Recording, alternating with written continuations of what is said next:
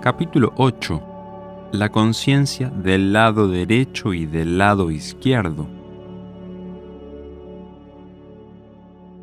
Nuestra discusión sobre el ensoñar fue sumamente benéfica para nosotros, no solo porque resolvió los obstáculos de nuestro ensoñar juntos, sino porque llevó los conceptos del ensoñar al nivel intelectual.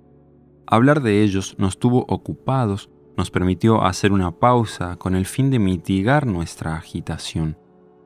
Una noche que andaba de compras llamé a la gorda desde una cabina telefónica. Me dijo que había estado en un almacén comercial y que había tenido la sensación de que yo estaba escondido detrás de unos maniquíes de escaparate. Estaba tan segura de que yo le andaba jugando una broma que se puso furiosa conmigo. Se abalanzó por la tienda tratando de atraparme y hacerme saber su enojo. Luego se dio cuenta de que en realidad estaba recordando algo que ella acostumbraba a hacer conmigo, tener un berrinche.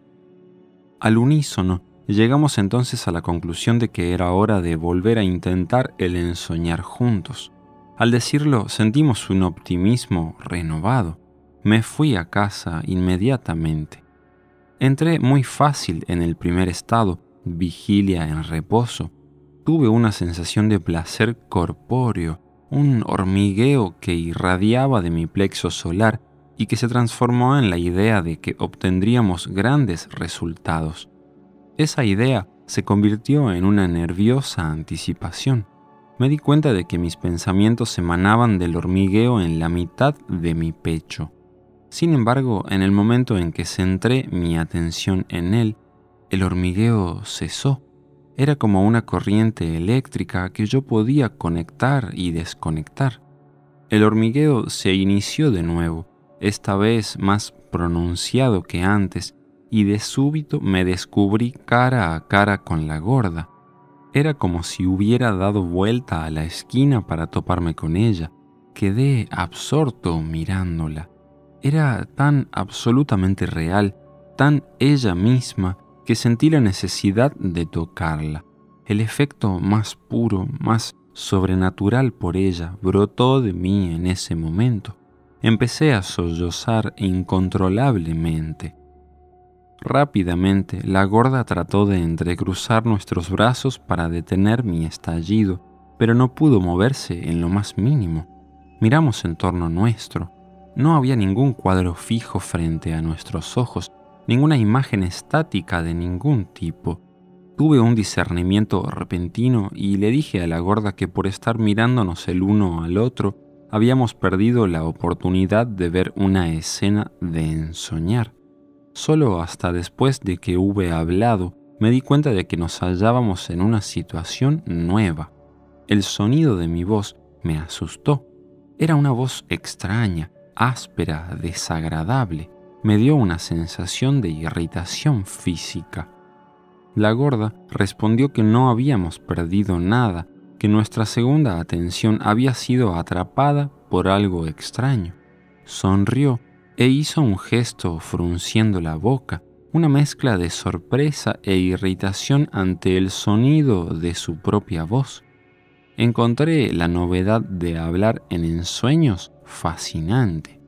No era que estuviéramos ensoñando una escena en la cual habláramos, sino que de hecho conversábamos, y esto requería un esfuerzo único, muy similar al esfuerzo que tuve que hacer en un principio al descender una escalera en ensueños. Le pregunté si creía que el sonido de mi voz era chistoso. Ella asintió y no estentóreamente. El sonido de su risa me conmocionó. Recordé que don Genaro solía hacer los ruidos más extraños y aterrorizantes. La risa de la gorda se hallaba en la misma categoría. Entonces experimenté el impacto de comprender que la gorda y yo, espontáneamente, habíamos entrado en nuestros cuerpos de ensueño. Quería tomarla de la mano. Lo intenté, pero no pude mover el brazo. Como ya tenía cierta experiencia en moverme en ese estado, me propuse ir al lado de la gorda. Mi deseo era abrazarla, pero en vez de eso me desplacé hasta un punto tan próximo de ella que nos fundimos. Yo estaba consciente de mi individualidad, pero al mismo tiempo sentía que era parte de la gorda. Esa sensación me gustó inmensamente. Permanecimos fusionados hasta que algo rompió nuestro vínculo. Sentí un impulso de examinar el medio ambiente. Miré y claramente recordé haberlo visto antes. Nos hallábamos rodeados de pequeños promonitorios circulares que exactamente semejaban dunas de arena. Estas se hallaban en torno nuestro, en todas las direcciones hasta donde se podía ver. Las dunas parecían estar hechas de algo que semejaba piedra arenisca de un tono amarillo pálido o toscos gránulos de sulfuro. El cielo era del mismo color, muy bajo y opresivo. Había bancos de niebla amarillenta o algún tipo de vapor amarillo que pendía de ciertos sitios del cielo. Entonces advertí que la gorda y yo parecíamos respirar normalmente. Yo no podía sentir mi pecho con las manos, pero sí lograba sentirlo expandirse cuando inhalaba. Los vapores amarillos obviamente no eran dañinos para nosotros. Empezamos a movernos al mismo tiempo, lenta, cuidadosamente, casi como si camináramos. Después de una breve distancia me sentí muy fatigado y la gorda también. Nos deslizábamos sobre el suelo y al parecer desplazarse de esa manera era muy fatigoso para nuestra segunda atención. Requería un grado excesivo de concentración. No nos hallábamos imitando intencionalmente nuestra forma ordinaria de caminar, pero el efecto venía a ser casi el mismo. Movernos requería estallidos de energía, algo como explosiones minúsculas con pausas intermedias. Puesto que carecíamos de objetivo al movernos, finalmente nos tuvimos que detener. La gorda me habló con una voz tan desvanecida que apenas era audible. Dijo que nos hallábamos avanzando como autómatas hacia las regiones más pesadas y que de continuar haciéndolo la presión resultaría tan grande que moriríamos. Automáticamente dimos la vuelta y nos dirigimos por donde veníamos, pero la sensación de fatiga no se dio. Los dos estábamos tan agotados que ya no podíamos conservar nuestra posición erecta. Nos desplomamos y espontáneamente adoptamos la posición de ensoñar. Desperté instantáneamente en mi estudio. La gorda despertó en su recámara. Lo primero que le dije al despertar fue que ya había estado en ese paisaje baldío varias veces antes. Ya había visto cuando menos dos aspectos de él, uno perfectamente plano, el otro cubierto por pequeños promonitorios redondos como de arena.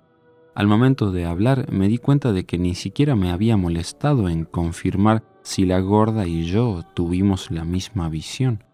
Me contuve y le dije que me había dejado llevar por mi propia excitación.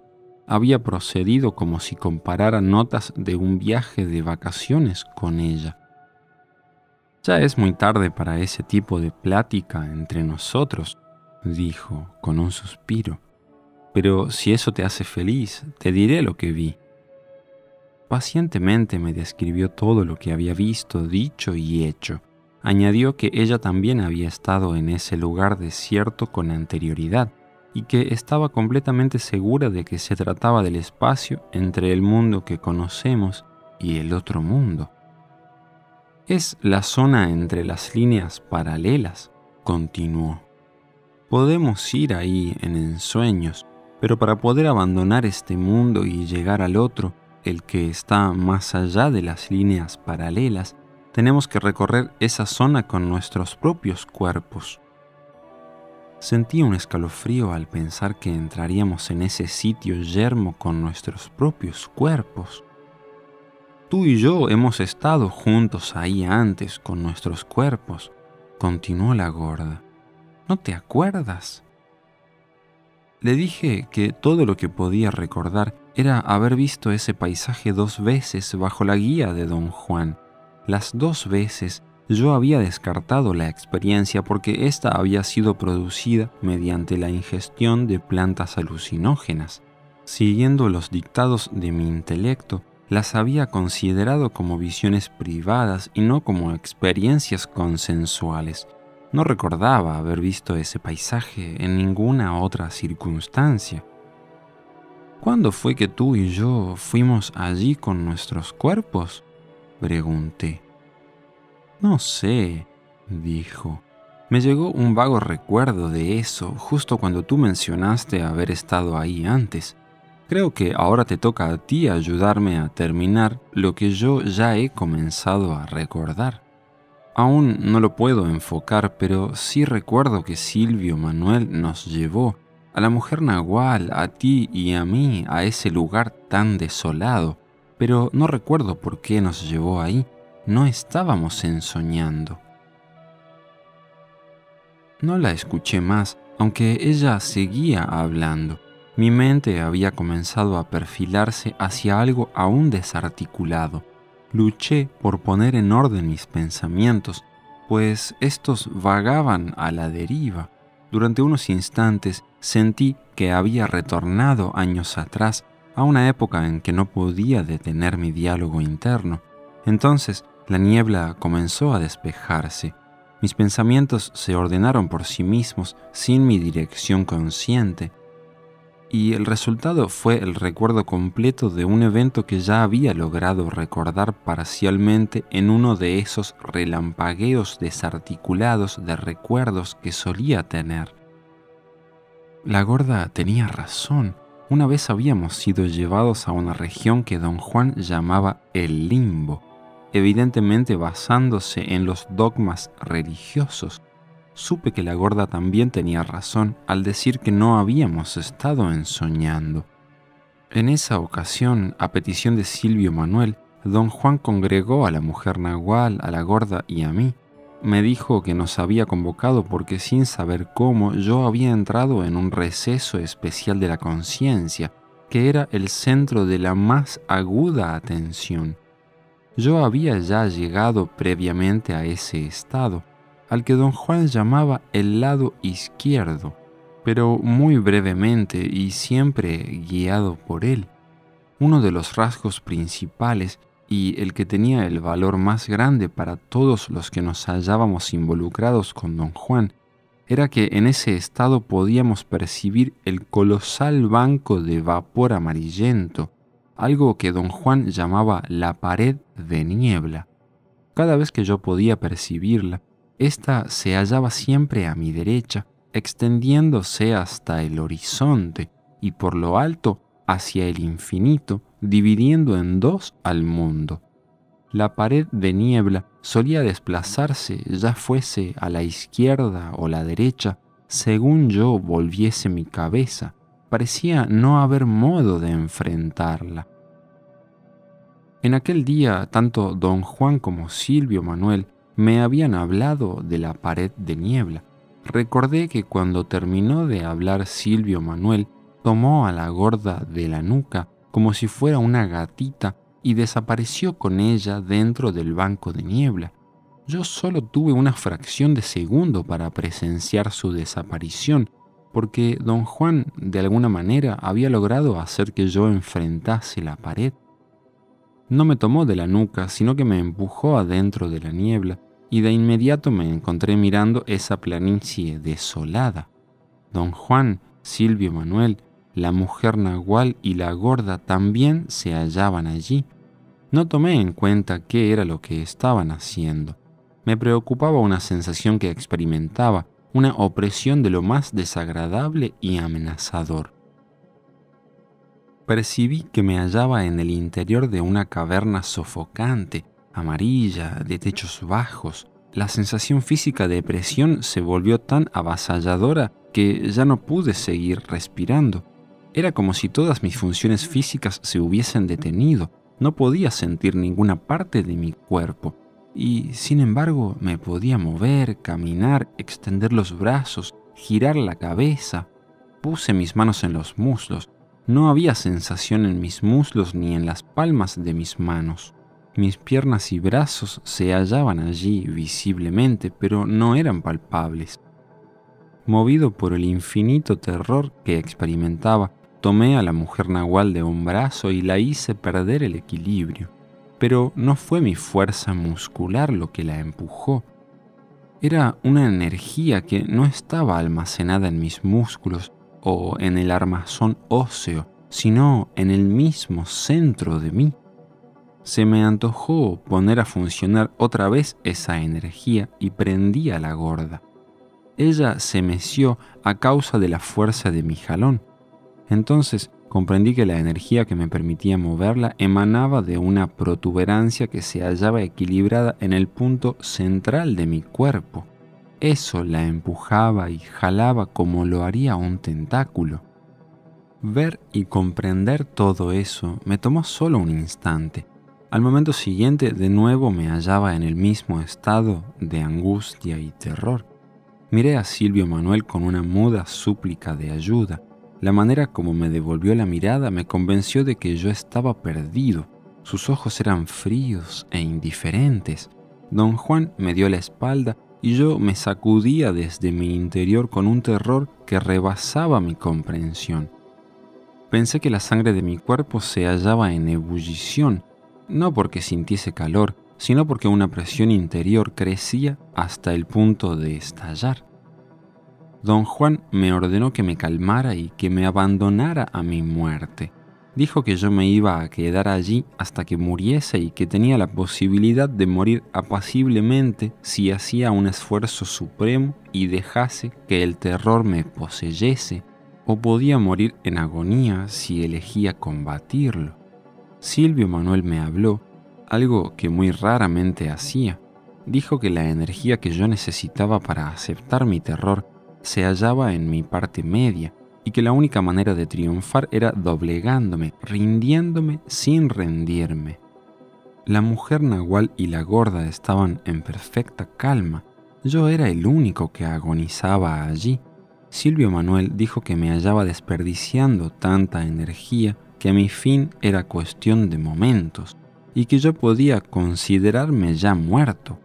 Don Juan le hizo una seña a la mujer nahual y a la gorda para que lo siguieran. Ellas me dieron la espalda. Ya no pude ver qué más hicieron. Sentí una vibración poderosa recorriéndome. Supuse que era el estertor de mi muerte. Mi lucha había concluido. Ya no me preocupé más. Cedí al inconmensurable terror que me estaba matando. Mi cuerpo o la configuración que yo consideraba mi cuerpo se calmó, se abandonó a la muerte.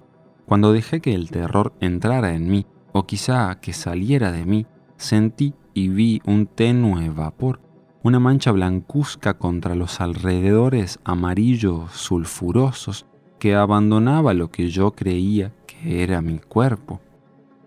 Don Juan regresó a mi lado y me examinó con curiosidad. Silvio Manuel se alejó y volvió a tomar a la gorda de la nuca. Claramente lo vi echándola como si fuera una gigantesca muñeca de trapo dentro del banco de niebla.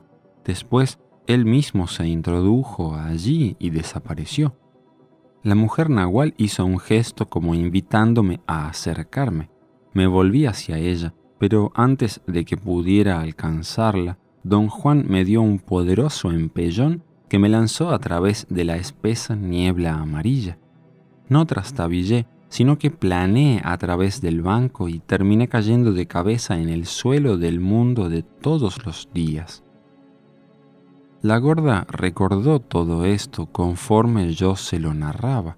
Luego agregó más detalles. La mujer nahual y yo no temíamos por tu vida, aseguró.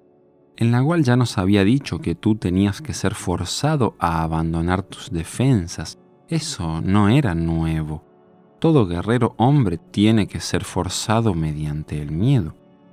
Silvio Manuel ya me había llevado tres veces antes al otro lado de la pared para que yo aprendiera a sosegarme. Dijo que si tú me veías tranquila, eso te afectaría y así fue. Tú te abandonaste y te apaciguaste. ¿Te dio mucho trabajo a ti también aprender a calmarte? Pregunté. No, eso es fácil para una mujer, respondió. Esa es la ventaja que tenemos. El único problema es que alguien nos tiene que transportar a través de la niebla. Nosotras no podemos hacerlo solas. ¿Por qué no, gorda?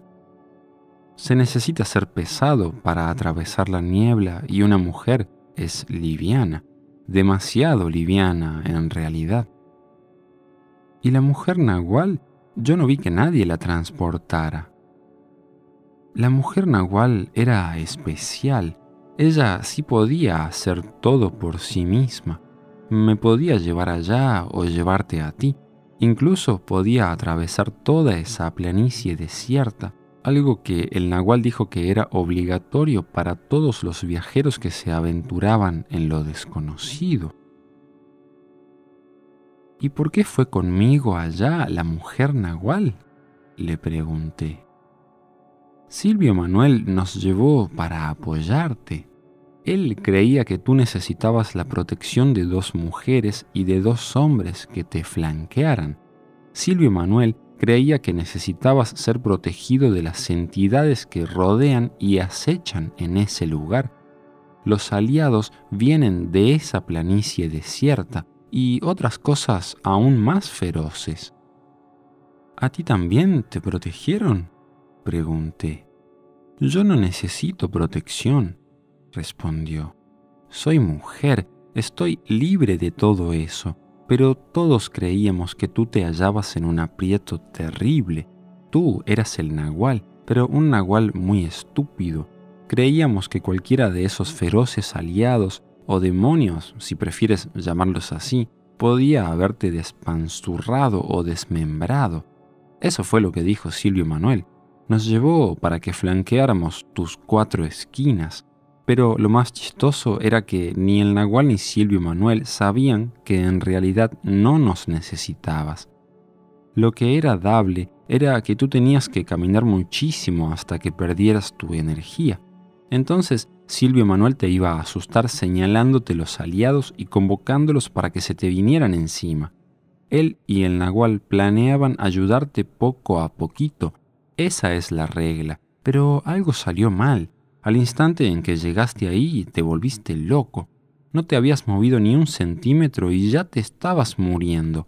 Estabas muerto de susto y ni siquiera habías visto a los aliados.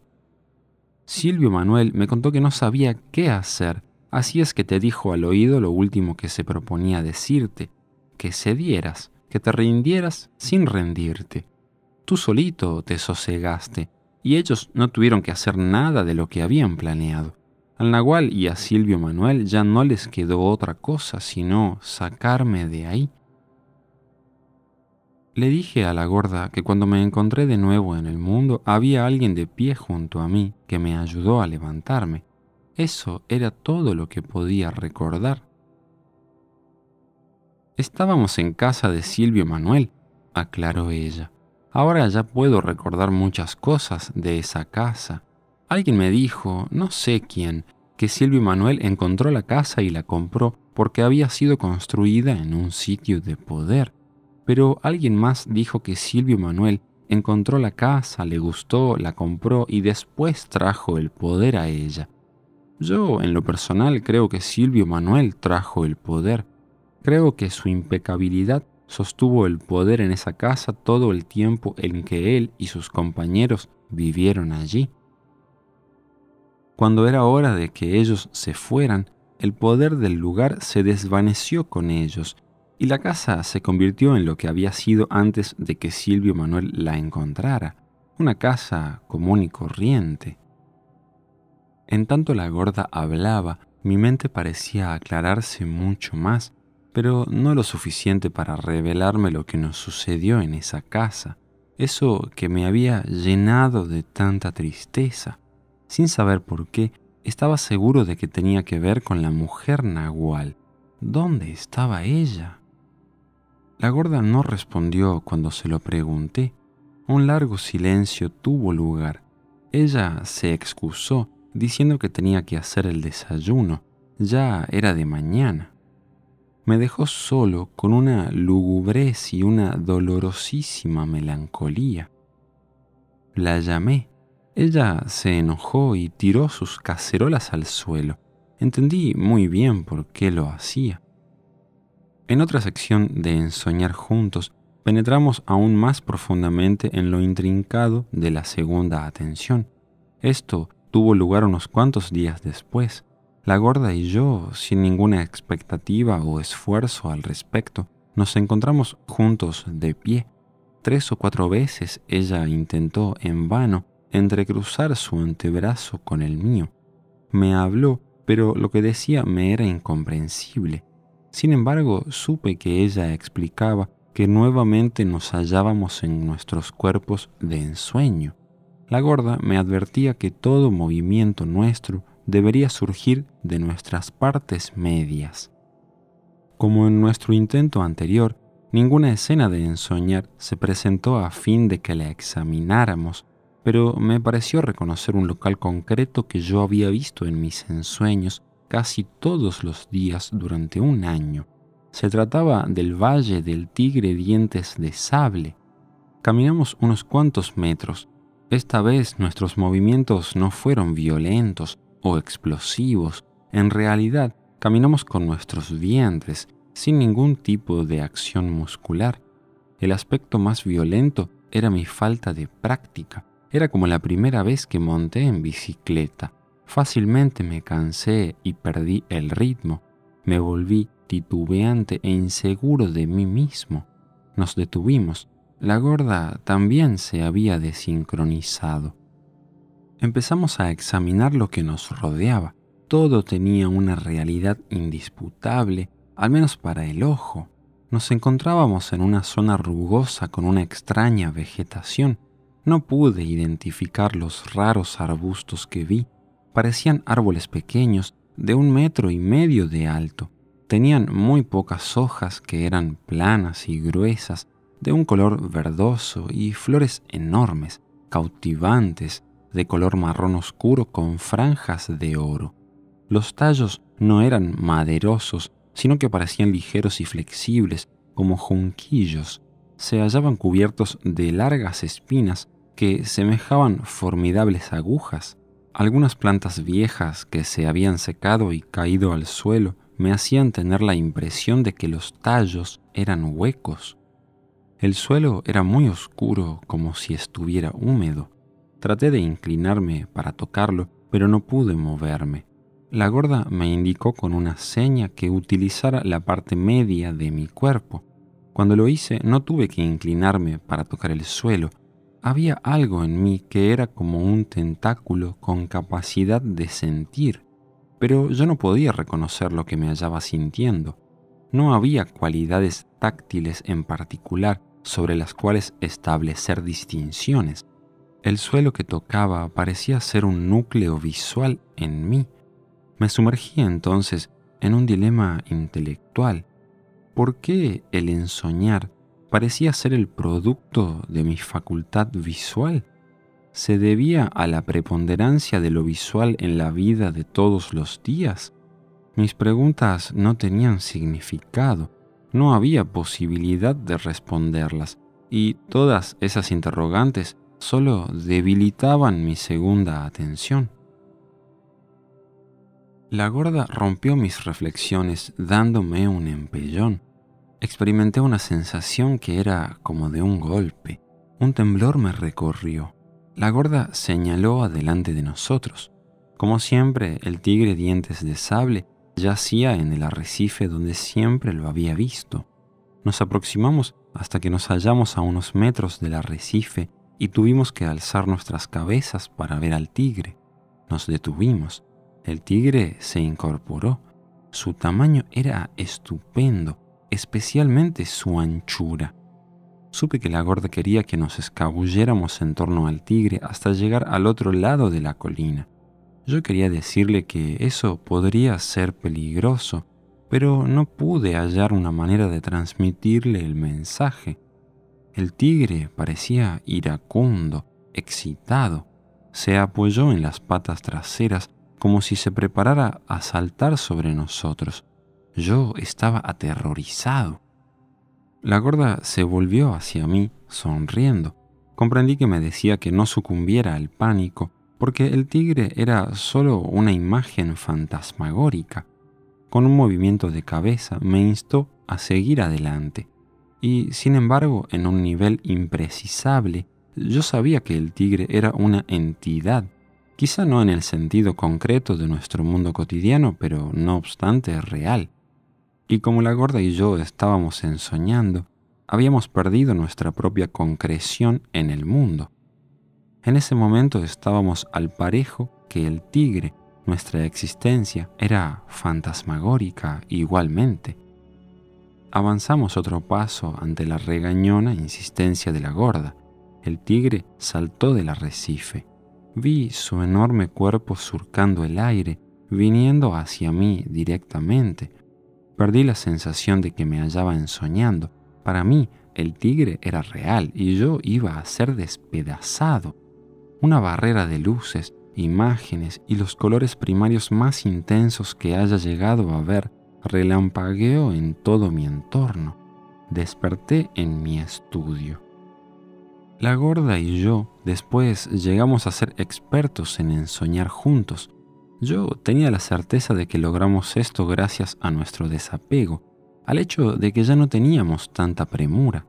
El resultado de nuestros esfuerzos no era lo que nos impelía a actuar, más bien se trataba de una compulsión ulterior que nos daba el ímpetu para actuar impecablemente sin pensar en recompensas. Todas nuestras sesiones fueron tan fáciles como la primera, aunque era mayor la velocidad y la naturalidad con la cual entrábamos en la segunda fase de ensoñar la vigilia dinámica. Nuestra habilidad era tal que ensoñábamos juntos cada noche, sin ninguna intención de parte nuestra. Los ensueños se concentraron al azar en tres áreas, en las dunas de arena, en el medio ambiente del tigre dientes de sable y, lo más importante, en acontecimientos de nuestro pasado que habíamos olvidado del todo. Cuando las escenas que confrontábamos tenían que ver con eventos olvidados en los cuales la gorda y yo desempeñamos un papel importante, ella no tenía dificultad en entrelazar su brazo con el mío. Ese acto me daba una irracional sensación de seguridad. La gorda me explicó que ahuyentaba la soledad inquebrantable que produce la segunda atención. Dijo que entrecruzar los brazos propicia un ánimo de objetividad y como resultado ambos podíamos contemplar las actividades que tenían lugar en cada escena. A veces formábamos parte de las actividades, otras veces contemplábamos la escena objetivamente como si estuviéramos en un cine. Según la gorda, la mayor parte de nuestro ensoñar juntos se agrupaba en tres categorías. La primera, y por cierto la más vasta, era una reactuación de acontecimientos que habíamos vivido juntos. La segunda era un escrutinio que nosotros dos hacíamos de sucesos que solamente yo había vivido. La tierra del tigre dientes de sable se hallaba en esa categoría. La tercera era una visita real en un dominio que existía tal como lo presenciábamos en el momento de nuestra visita. La gorda sostenía que esos promonitorios amarillos se hallaban presentes aquí y ahora y que esa es la manera como los ve el guerrero que viaja entre ellos. Yo quería discutir una cuestión con ella.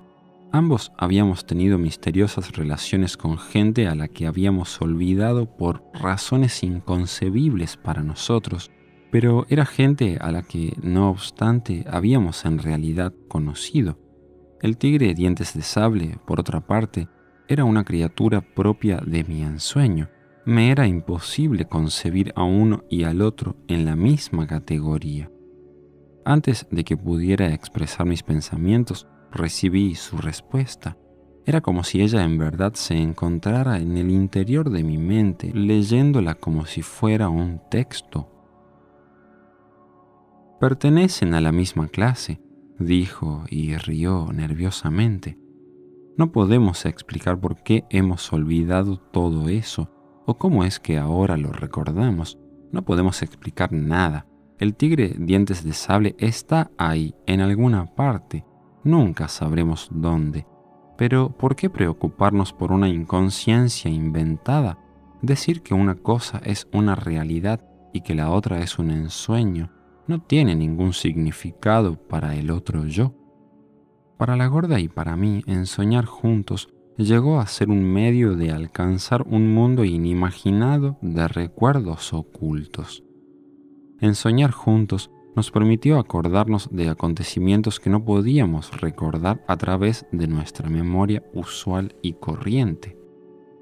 Cuando los reexaminábamos en nuestras horas de vigilia, recuerdos aún más elaborados se desencadenaban. De esta manera desenterramos, por así decirlo, masas de recuerdos que habían estado escondidos en nosotros.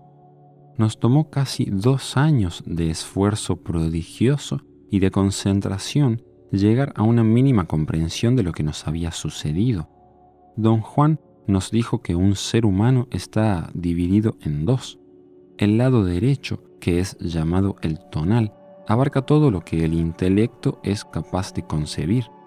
El lado izquierdo, llamado el nahual, es un dominio de rasgos indescriptibles, un dominio que es imposible de contener en palabras. El lado izquierdo quizás es comprendido, si comprensión es lo que tiene lugar, con la totalidad del cuerpo. De allí su resistencia a la conceptualización. Don Juan también nos había dicho que todas las facultades, posibilidades y logros de la brujería, desde lo más simple hasta lo más sorprendente, se halla en el cuerpo humano mismo tomando como base los conceptos de que nos hallamos divididos en dos y de que todo se encuentra en el cuerpo mismo, la gorda propuso una explicación de nuestros recuerdos. Ella creía que durante los años de nuestra asociación con el Nahual Don Juan, nuestro tiempo se hallaba dividido entre estados de conciencia normal, en el lado derecho, el tonal, donde prevalece la primera atención, y estados de conciencia acrecentada en el lado izquierdo, el nahual, o el sitio de la segunda atención. La gorda creía que los esfuerzos del nahual Juan Matus tenían como objetivo conducirnos al otro yo por medio del autocontrol de la segunda atención a través del ensoñar. Sin embargo, don Juan también nos puso en contacto directo con la segunda atención mediante una manipulación corporal. La gorda recordaba que él la forzaba a pasar de un lado al otro, ya fuese oprimiendo o masajeándole la espalda. Decía que a veces incluso le daba un buen golpe en el omóplato derecho. El resultado era que ella entraba en un extraordinario estado de claridad. La gorda creía que en ese estado todo se movía con mayor celeridad y sin embargo nada en el mundo había sido cambiado. Semanas después de que la gorda me había dicho esto, recordé que a mí me había ocurrido lo mismo. En un momento dado, don Juan me daba un golpe en la espalda. Yo siempre sentí ese golpe en la espina, en medio y arriba de mis omóplatos. Una claridad extraordinaria me poseía luego. El mundo era el mismo, pero más nítido. Todo se realizaba por sí mismo. Quizás se trataba de que mis facultades de razonamiento eran nubladas mediante el golpe de don Juan y eso me permitía percibir sin ellas. Yo permanecía con esa claridad indefinidamente, o hasta que don Juan me daba otro golpe en el mismo sitio para hacerme volver a mi estado normal de conciencia. Don Juan nunca me empujó o me masajeó, siempre me dio un golpe directo y fuerte, no como el golpe de un puño, sino más bien un impacto que me quitaba el aliento por instantes. Yo tenía que respirar entrecortadamente, inhalar largas y rápidas bocanadas de aire hasta que de nuevo podía respirar normalmente. La gorda reportó el mismo efecto. Todo el aire era expulsado de sus pulmones mediante el golpe del nahual y ella tenía que aspirar más de la cuenta para poder llenarlos nuevamente. La gorda creía que la respiración era el factor decisivo. En su opinión, las inhalaciones de aire que ella se veía forzada a hacer después de ser golpeada eran las que acrecentaban la conciencia. No podía, sin embargo, explicar de qué manera la respiración afectaba su percepción y su conciencia. La gorda también explicó que a ella no se le tenía que golpear para hacerla volver a su estado normal.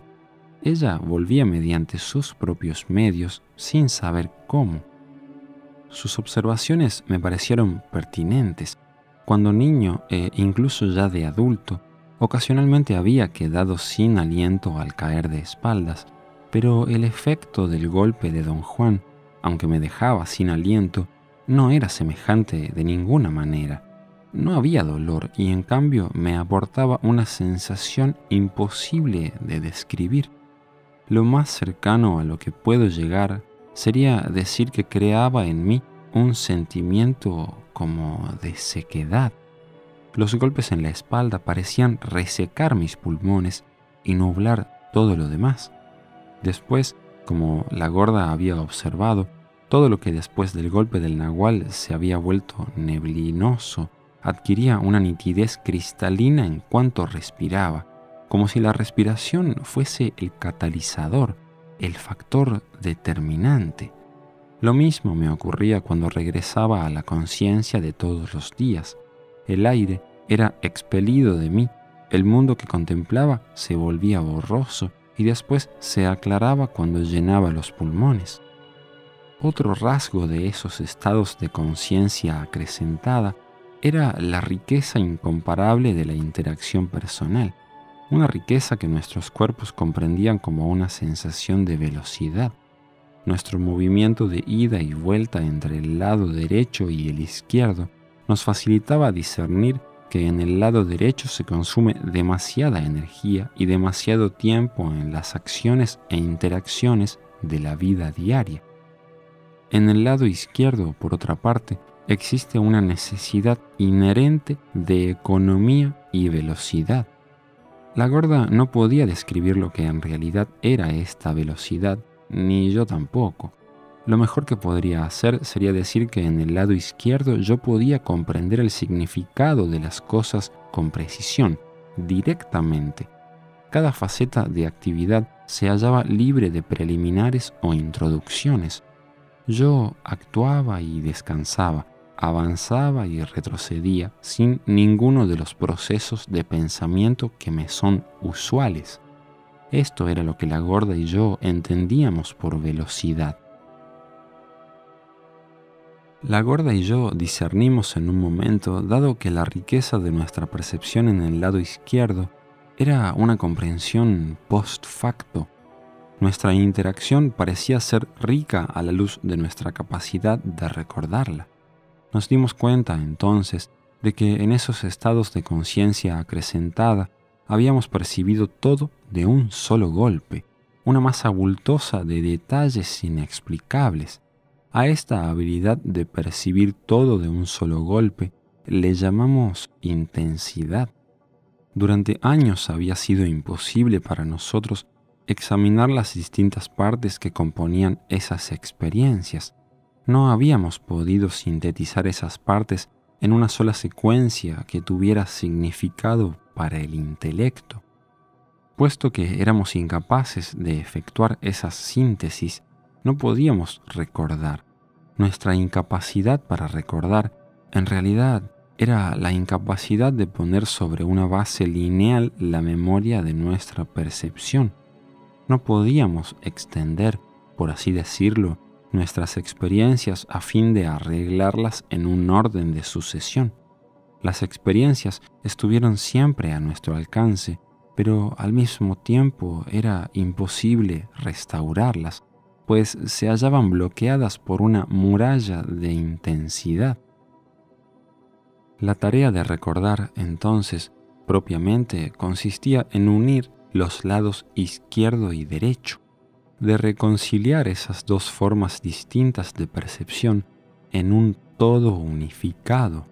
La tarea de consolidar la totalidad de uno mismo se efectuaba mediante el reacomodo de la intensidad en una secuencia lineal. Se nos ocurrió que las actividades en las que recordábamos haber tomado parte quizá no tomaron mucho tiempo en llevarse a cabo en términos de tiempo medido por reloj. Por razón de poder, en esas circunstancias, al percibir en términos de intensidad, pudimos solo haber tenido la sensación de extensos pasajes de tiempo. La gorda creía que si pudiéramos rearreglar la intensidad en una secuencia lineal, creeríamos haber vivido miles de años. El paso pragmático que don Juan tomó para auxiliarnos en nuestra tarea de recordar consistió en hacernos interactuar con cierta gente cuando nos hallábamos en un estado de conciencia acrecentada. Él tenía mucho cuidado en impedirnos ver a esa gente cuando nos hallábamos en un estado normal de conciencia, creando de esta manera las condiciones apropiadas para recordar. Al completar nuestros recuerdos, la gorda y yo entramos en un estado insólito. Teníamos detallado conocimiento de interacciones sociales que habíamos compartido con don Juan y sus compañeros. Estos no eran recuerdos del modo como yo recordaría un episodio de mi niñez. Eran recuerdos más que vívidos de acontecimientos que podíamos revivir paso a paso. Reprodujimos conversaciones que parecían reverberar en nuestros oídos como si las estuviéramos escuchando. Los dos pensamos que no era superfluo especular sobre lo que nos estaba ocurriendo. Lo que estábamos recordando desde el punto de vista de nuestra experiencia inmediata tenía lugar ahora. Tal era el carácter de nuestro recuerdo. Por fin la gorda y yo pudimos resolver las interrogantes que nos habían impulsado tan duramente. Recordamos quién era la mujer nahual, cómo encajaba entre nosotros, cuál había sido su papel. Dedujimos, más que recordamos, que habíamos pasado iguales porciones de tiempo con don Juan y don Genaro en estados normales de conciencia, y con don Juan y sus demás compañeros en estados de conciencia acrecentada. Recapturamos cada matiz de esas interacciones que habían sido veladas por la intensidad. Después de una cuidadosa revisión de lo que habíamos descubierto, comprendimos que apenas habíamos establecido un minúsculo puente entre los dos lados de nosotros mismos. Nos volvimos entonces a otros temas, a nuevas interrogantes que habían tomado precedencia sobre las antiguas.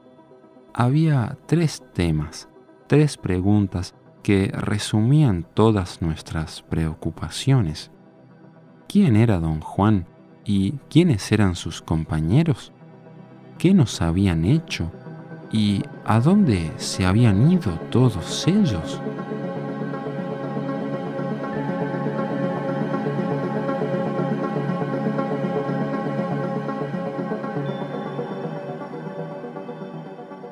Tercera parte. El don del águila. Capítulo 9 la regla del nahual. Don Juan había sido extraordinariamente parco en cuanto a la historia de su vida personal. Su reticencia era en lo fundamental un recurso didáctico.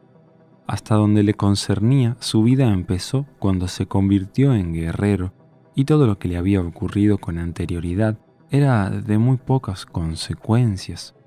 Todo lo que la gorda y yo sabíamos de esa primera época de su vida era que don Juan había nacido en Arizona, de ascendencia yaqui y yuma. Cuando aún era niño, sus padres lo llevaron a vivir con los yaquis en el norte de México.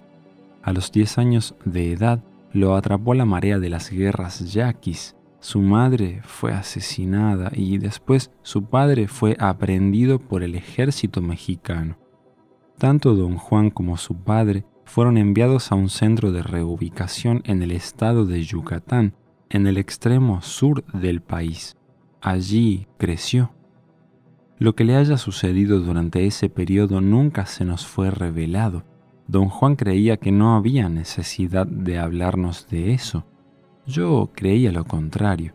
La importancia que di a esa parte de su vida tenía que ver con mi convicción de que los rasgos distintivos y el énfasis de su mando emergieron de ese inventario personal de existencia. Pero ese inventario, por muy importante que haya sido, no fue lo que le dio el inmenso significado que él tenía para nosotros o para sus demás compañeros. Su preeminencia total se basaba en el acto fortuito de haberse ligado con la regla. El hallarse ligado con la regla puede describirse como vivir un mito. Don Juan vivía un mito, un mito que lo atrapó y que lo hizo ser nahual.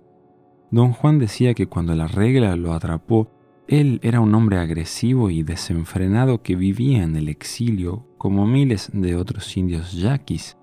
Don Juan trabajaba en las plantaciones tabacaleras del sur de México.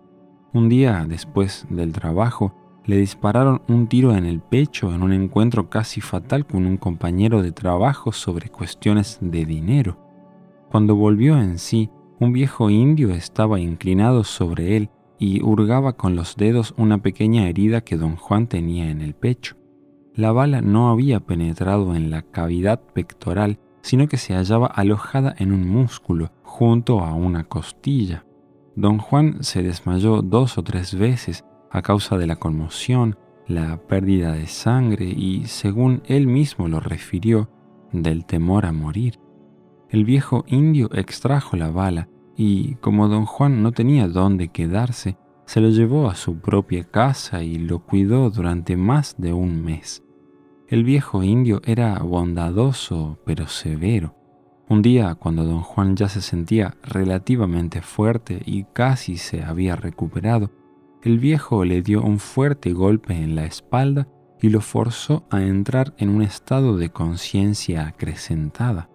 Después, sin mayores preliminares, le reveló a don Juan la porción de la regla que tenía que ver con el nahual y su función. Don Juan llevó a cabo exactamente lo mismo conmigo y con la gorda. Nos hizo cambiar niveles de conciencia y nos dijo la regla del nahual de la siguiente manera. Al poder que gobierna el destino de todos los seres vivientes se le llama el águila no porque sea un águila o porque tenga algo que ver con las águilas, sino porque a los videntes se les aparece como una inconmensurable y negrísima águila de altura infinita, empinada como se empinan las águilas. A medida que el vidente contempla esa negrura, cuatro estallidos de luz le revelan lo que es el águila. El primer estallido, que es como un rayo, guía al vidente a distinguir los contornos del cuerpo del águila. Hay trozos de blancura que parecen ser las plumas y los talones de un águila. Un segundo estallido de luz revela una vibrante negrura, creadora de viento, que aletea como las alas de un águila. Con el tercer estallido de luz, el vidente advierte un ojo taladrante, inhumano, y el cuarto y último estallido le deja ver lo que el águila hace. El águila se halla devorando la conciencia de todas las criaturas que, vivas en la tierra un momento antes y ahora muertas, van flotando como un incesante enjambre de luciérnagas hacia el pico del águila para encontrar a su dueño, su razón de haber tenido vida.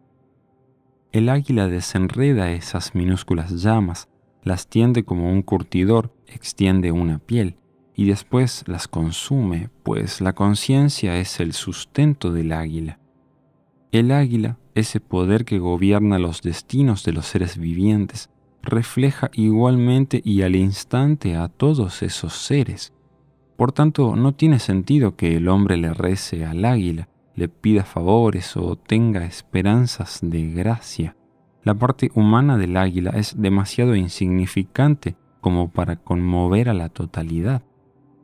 Solo a través de las acciones del águila el vidente puede decir qué es lo que ella quiere. El águila, aunque no se conmueve ante las circunstancias de ningún ser viviente, ha concedido un regalo a cada uno de estos seres, a su propio modo y por su propio derecho, cualquiera de ellos, si así lo desea, tiene el poder de conservar la llama de la conciencia, el poder de desobedecer el comparendo para morir y ser consumido. A cada cosa viviente se le ha concedido el poder, si así lo desea, de buscar una apertura hacia la libertad y de pasar por ella. Es obvio para el vidente que ve esa apertura y para las criaturas que pasan a través de ella que el águila ha concedido ese regalo a fin de perpetuar la conciencia, con el propósito de guiar a los seres vivientes hacia esa apertura.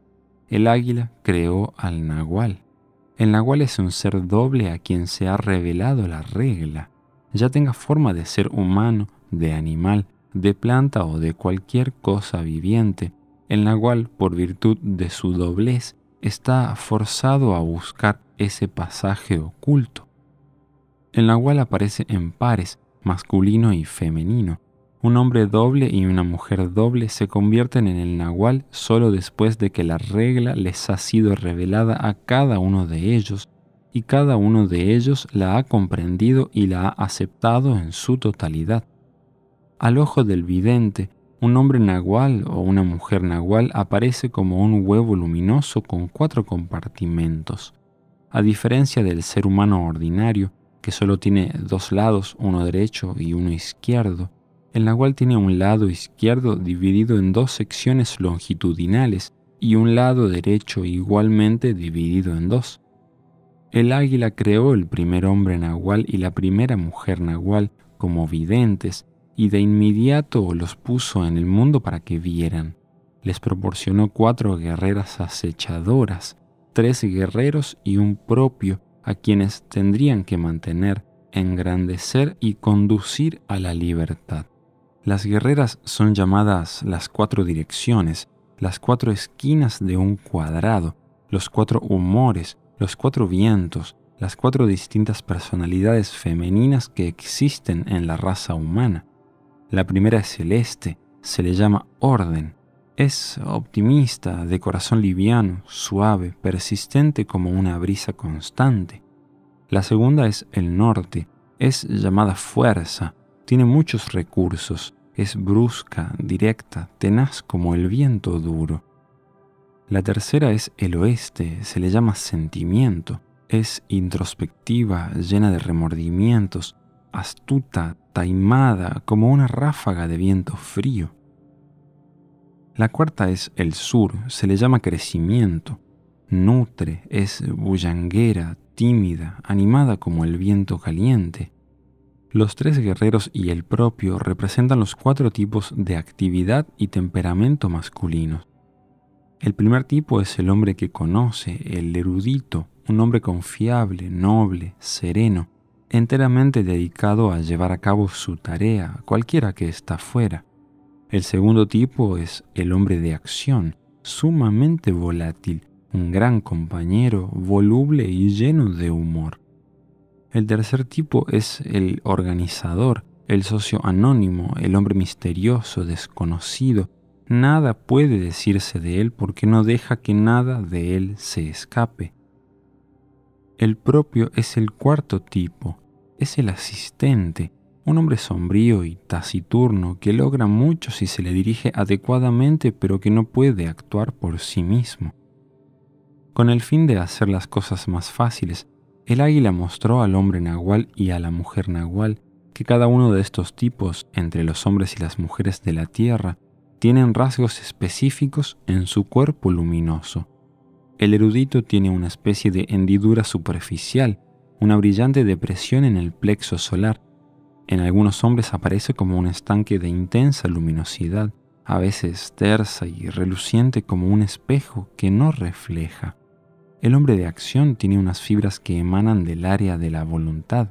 El número de fibras varía de 1 a 5 y su grosor fluctúa desde un cordel hasta un macizo tentáculo parecido a un látigo de más de dos metros. Algunos hombres tienen hasta tres de estas fibras desarrolladas al punto de ser tentáculos.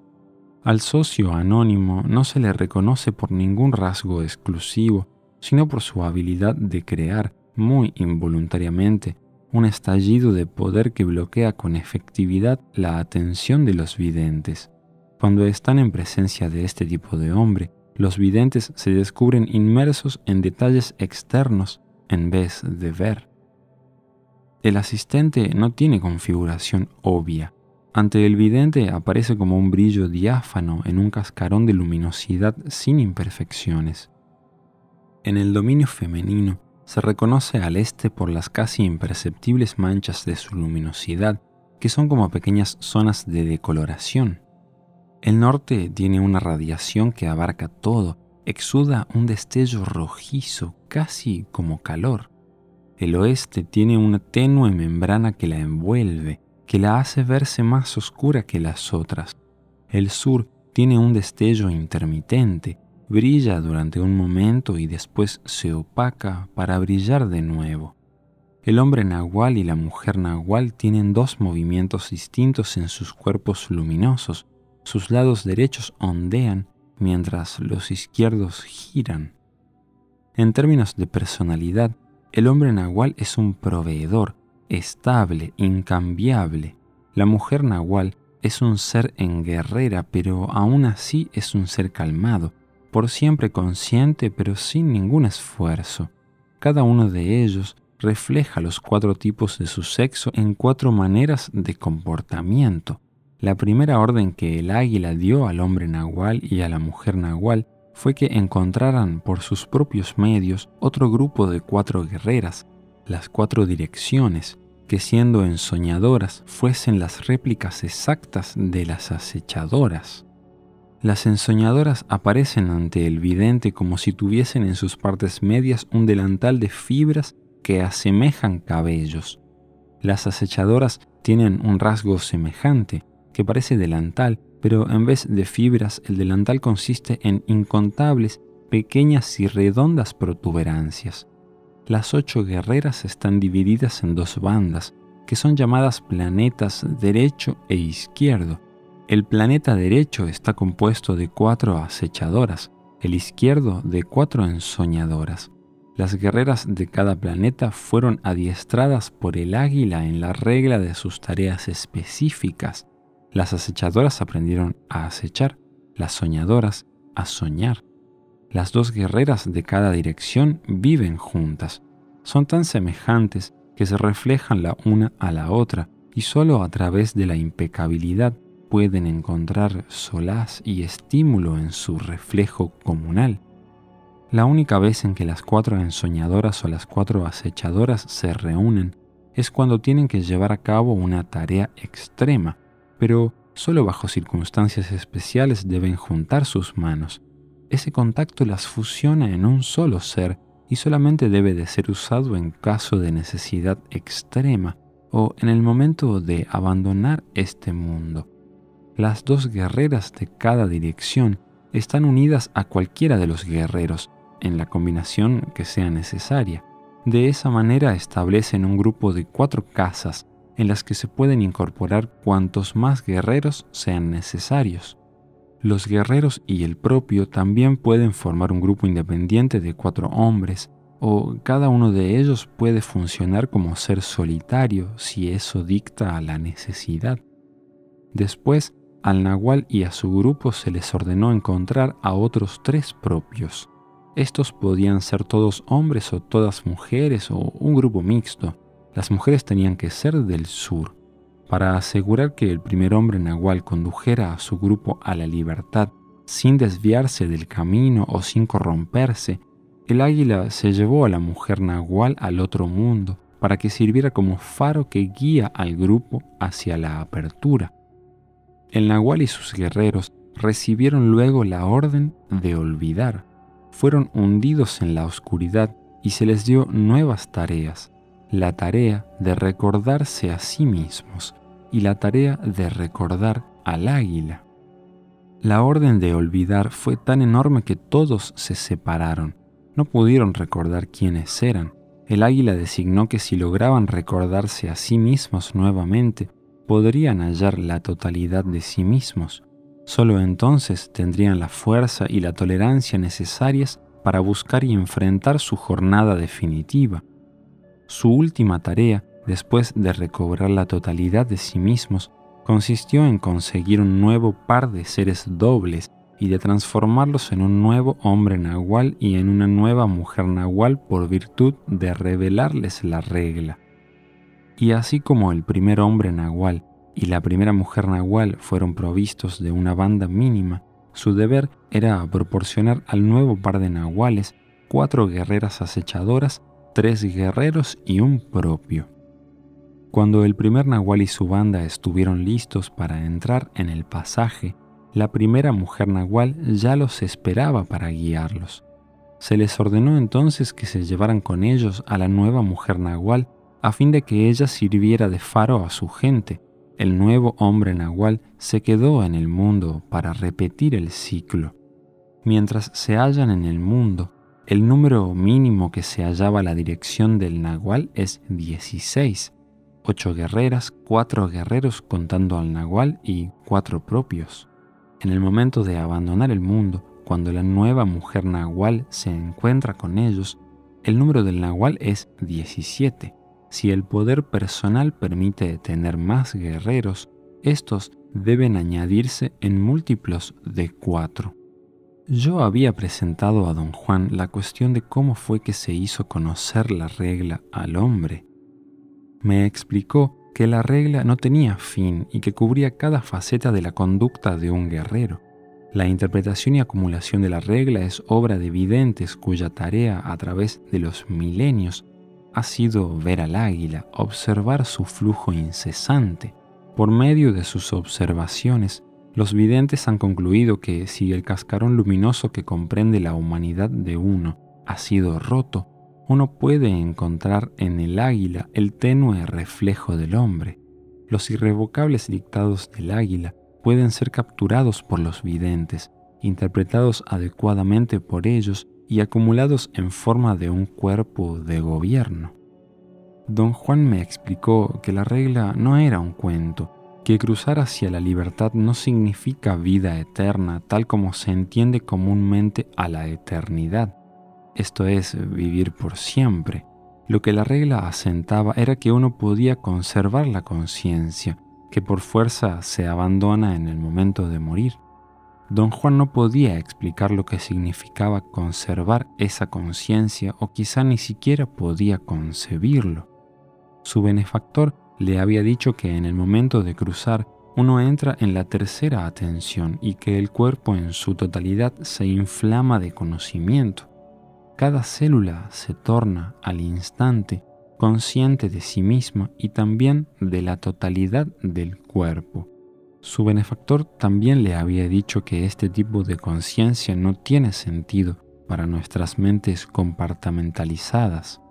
Por consiguiente, el meollo de la lucha del guerrero no consistía tanto en enterarse de que el cruce del que se habla en la regla significaba cruzar a la tercera atención, sino más bien en concebir que tal conciencia existe. Don Juan decía que al principio la regla era para él algo estrictamente en el dominio de las palabras. No podía imaginar cómo podía deslizarse al dominio del mundo real y sus manifestaciones. Bajo la efectiva guía de su benefactor, sin embargo, y después de mucho trabajo, finalmente logró comprender la verdadera naturaleza de la regla y la aceptó totalmente como un conjunto de directivas pragmáticas y no como mito. A partir de ese momento no tuvo problemas al tratar con la realidad de la tercera atención. El único obstáculo en su camino surgió a raíz de su creencia de que la regla era un mapa. Estaba tan convencido de ello que creyó que tenía que buscar una apertura en el mundo, un pasaje, de alguna manera se había quedado innecesariamente atascado en el primer nivel del desarrollo de un guerrero. Como resultado de esto, la tarea de don Juan en su capacidad de guía y maestro fue dirigida a ayudar a los aprendices y a mí en lo especial a evitar que se repitiera ese error. Lo que logró hacer con nosotros fue conducirnos a través de las tres etapas del desarrollo del guerrero, sin enfatizar ninguna de ellas más de la cuenta. Primero nos guió para que tomáramos la regla como mapa, después nos guió a la comprensión de que uno puede obtener una conciencia suprema porque tal cosa existe, y por último nos guió a un pasaje concreto para pasar a ese otro mundo oculto de la conciencia. Para conducirnos a través de la primera etapa, la aceptación de la regla como un mapa, Don Juan tomó la sección que pertenece al Nahual y su función y nos mostró que ésta corresponde a los hechos inequívocos. Él logró esto a fuerza de hacernos tener, mientras nos hallábamos en fases de conciencia acrecentada, un trato sin restricciones con los miembros del grupo, que eran las personificaciones vivientes de los ocho tipos descritos por la regla.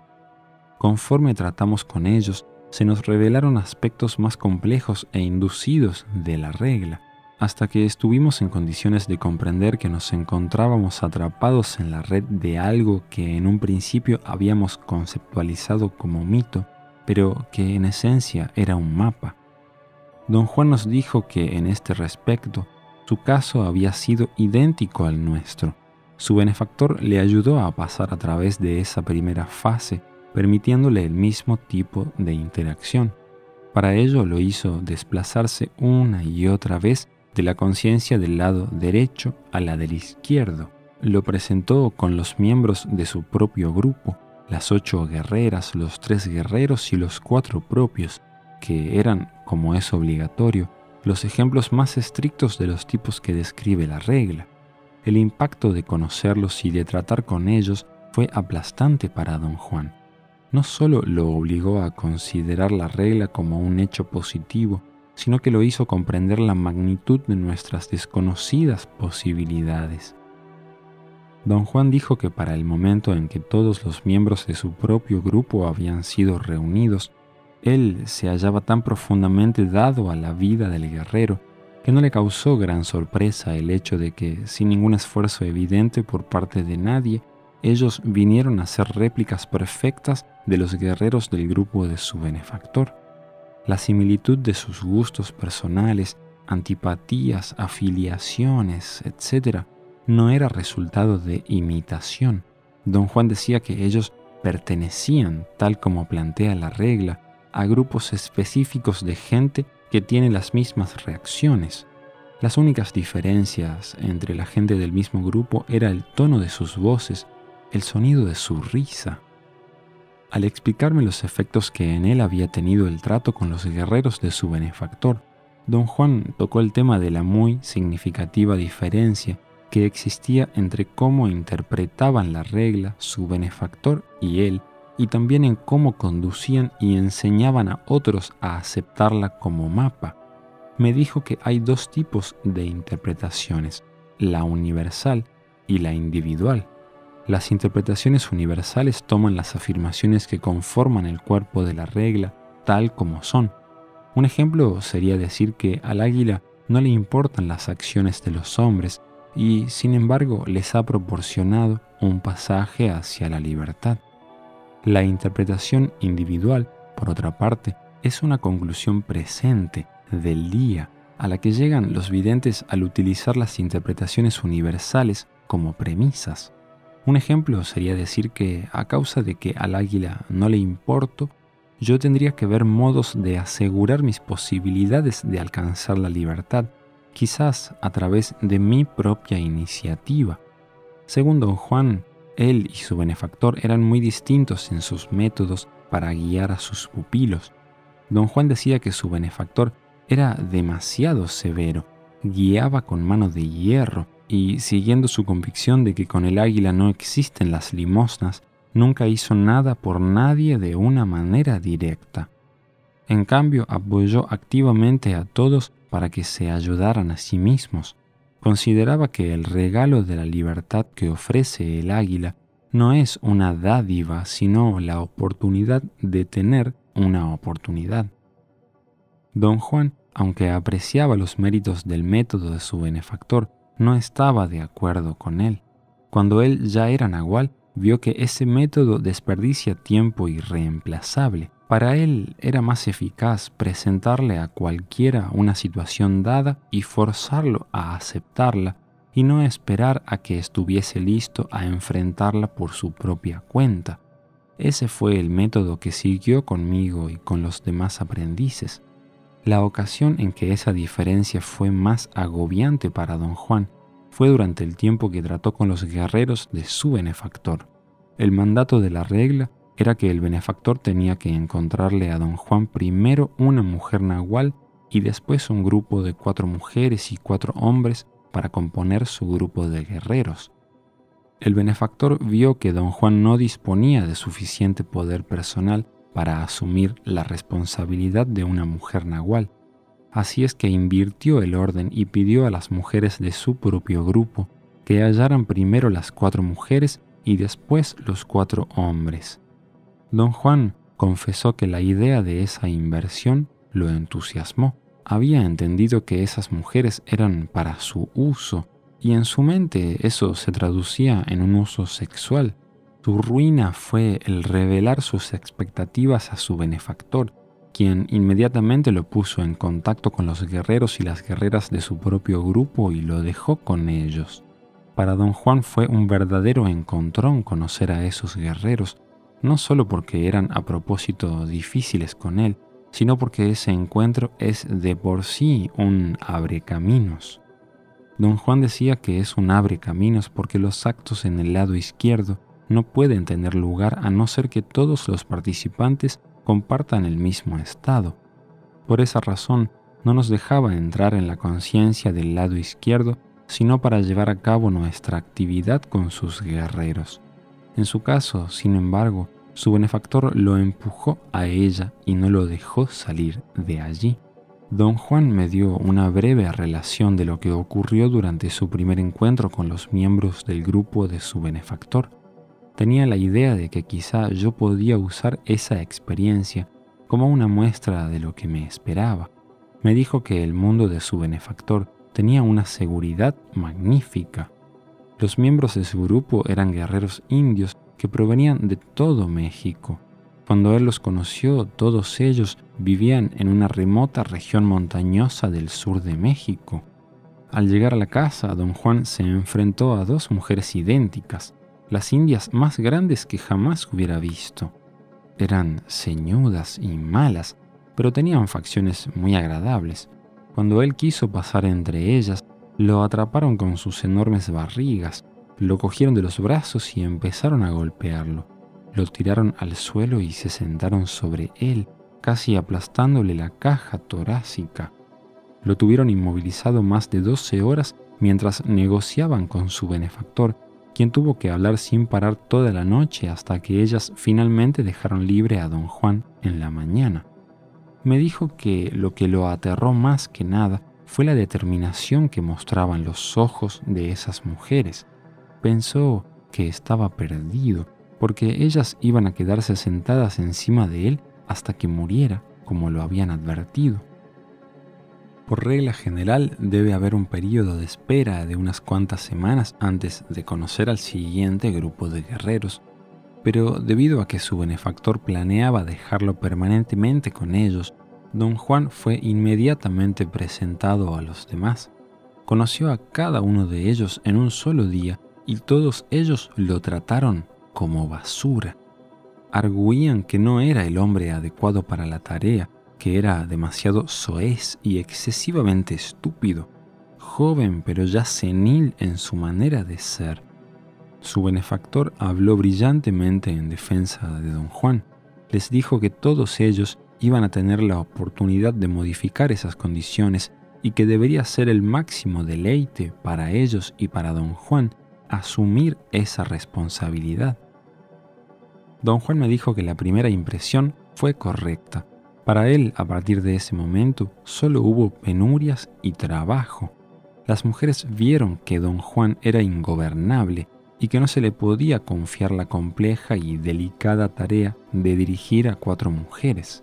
Como eran videntes, hicieron su propia interpretación personal de la regla y decidieron que sería más adecuado para don Juan tener primero a los cuatro guerreros y luego a las cuatro mujeres.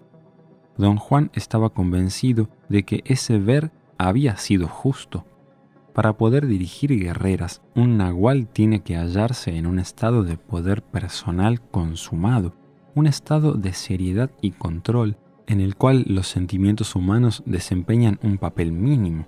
En ese tiempo tal estado le era inconcebible. Su benefactor lo puso bajo la supervisión directa de sus dos guerreras del oeste, las más intransigentes y feroces de todas. Don Juan me dijo que las mujeres del oeste de acuerdo con la regla, están totalmente locas, que alguien tiene que cuidarlas. Bajo las durezas del ensoñar y del acechar sus lados derechos, sus mentes se dañan. Su razón se extingue muy fácilmente por el hecho de que su conciencia del lado izquierda es extremadamente aguda. Una vez que pierden el lado racional, son ensoñadoras y acechadoras insuperables porque ya no tienen ningún lastre racional que las contenga. Don Juan dice que esas mujeres lo curaron de la lujuria. Durante seis meses pasó la mayor parte del tiempo en un arnés, suspendido del techo de una cocina rural, como jamón que se ahuma, hasta que quedó completamente limpio de pensamientos de ganancia y de gratificación personal. Don Juan me explicó que el arnés de cuero es espléndido recurso para curar ciertas enfermedades que no son físicas.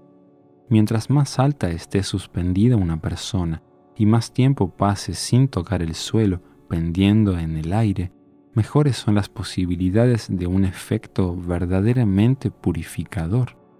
A medida que las dos guerreras del oeste lo limpiaban, las otras mujeres estaban atareadas en encontrar los hombres y las mujeres que iban a formar su grupo les tomó años lograrlo. Don Juan, en tanto, tuvo que tratar con su propia cuenta a todos los guerreros de su benefactor. La presencia y el contacto con ellos fue tan avasallador que don Juan creyó que nunca se vería libre de su influencia. El resultado fue una adherencia total y literal al cuerpo de la regla. Don Juan decía que desperdició tiempo irreemplazable reflexionando sobre la existencia de su pasaje real hacia el otro mundo. Consideraba que esa preocupación era una trampa que debía evitarse a toda costa.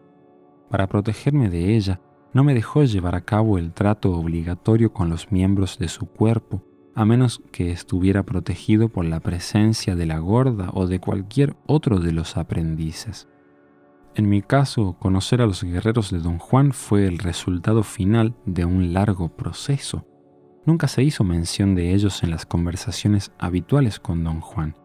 Yo sabía de su existencia solamente a través de inferencias.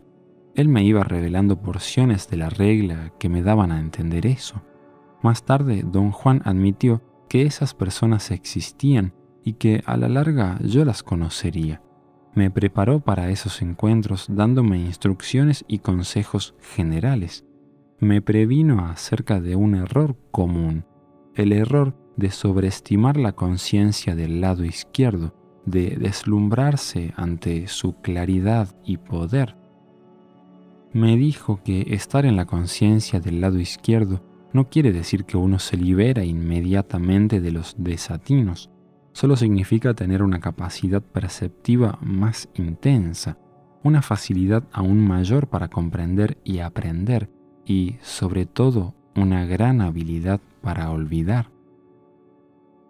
A medida que se aproximaba la hora de que conociera a los guerreros de don Juan, éste me dio una escueta descripción del grupo de su benefactor como una guía para mi propio uso.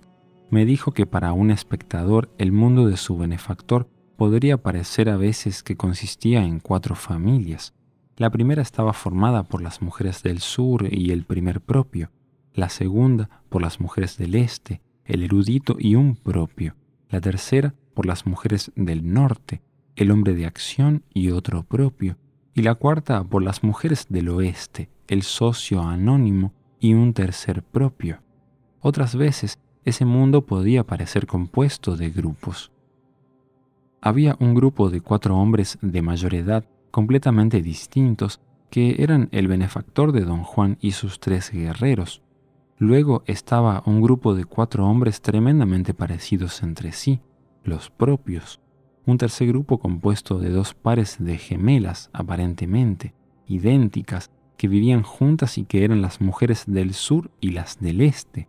Y un cuarto grupo formado por otros dos pares de supuestas hermanas, las mujeres del norte y del oeste. Ninguna de estas mujeres tenía lazos de parentesco entre sí, simplemente parecían iguales, al punto, en ciertos casos, de ser idénticas. Don Juan creía que esto era producto del enorme poder personal que tenía su benefactor. Don Juan describió a las mujeres del sur como dos mastodontes temibles en apariencia, pero muy simpáticas y afectuosas. Las mujeres del este eran muy bellas, frescas y graciosas, un verdadero deleite para verlas y oírlas. Las mujeres del norte eran completamente femeninas, vanas, coquetas, preocupadas con la edad, pero también terriblemente directas e impacientes. Las mujeres del oeste eran a veces locas y otras un epítome de severidad y determinación. Eran las que más perturbaban a don Juan, quien no podía reconciliar el hecho de que fueran tan sobrias, bondadosas y serviciales, con el hecho de que en un momento dado podían perder la compostura y quedar totalmente locas. Los hombres, por otra parte, de ninguna manera eran memorables para don Juan. Creía que no había nada notable en ellos. Todos parecían hallarse completamente anulados por la conmocionante fuerza y determinación de las mujeres y por la personalidad avasalladora del benefactor.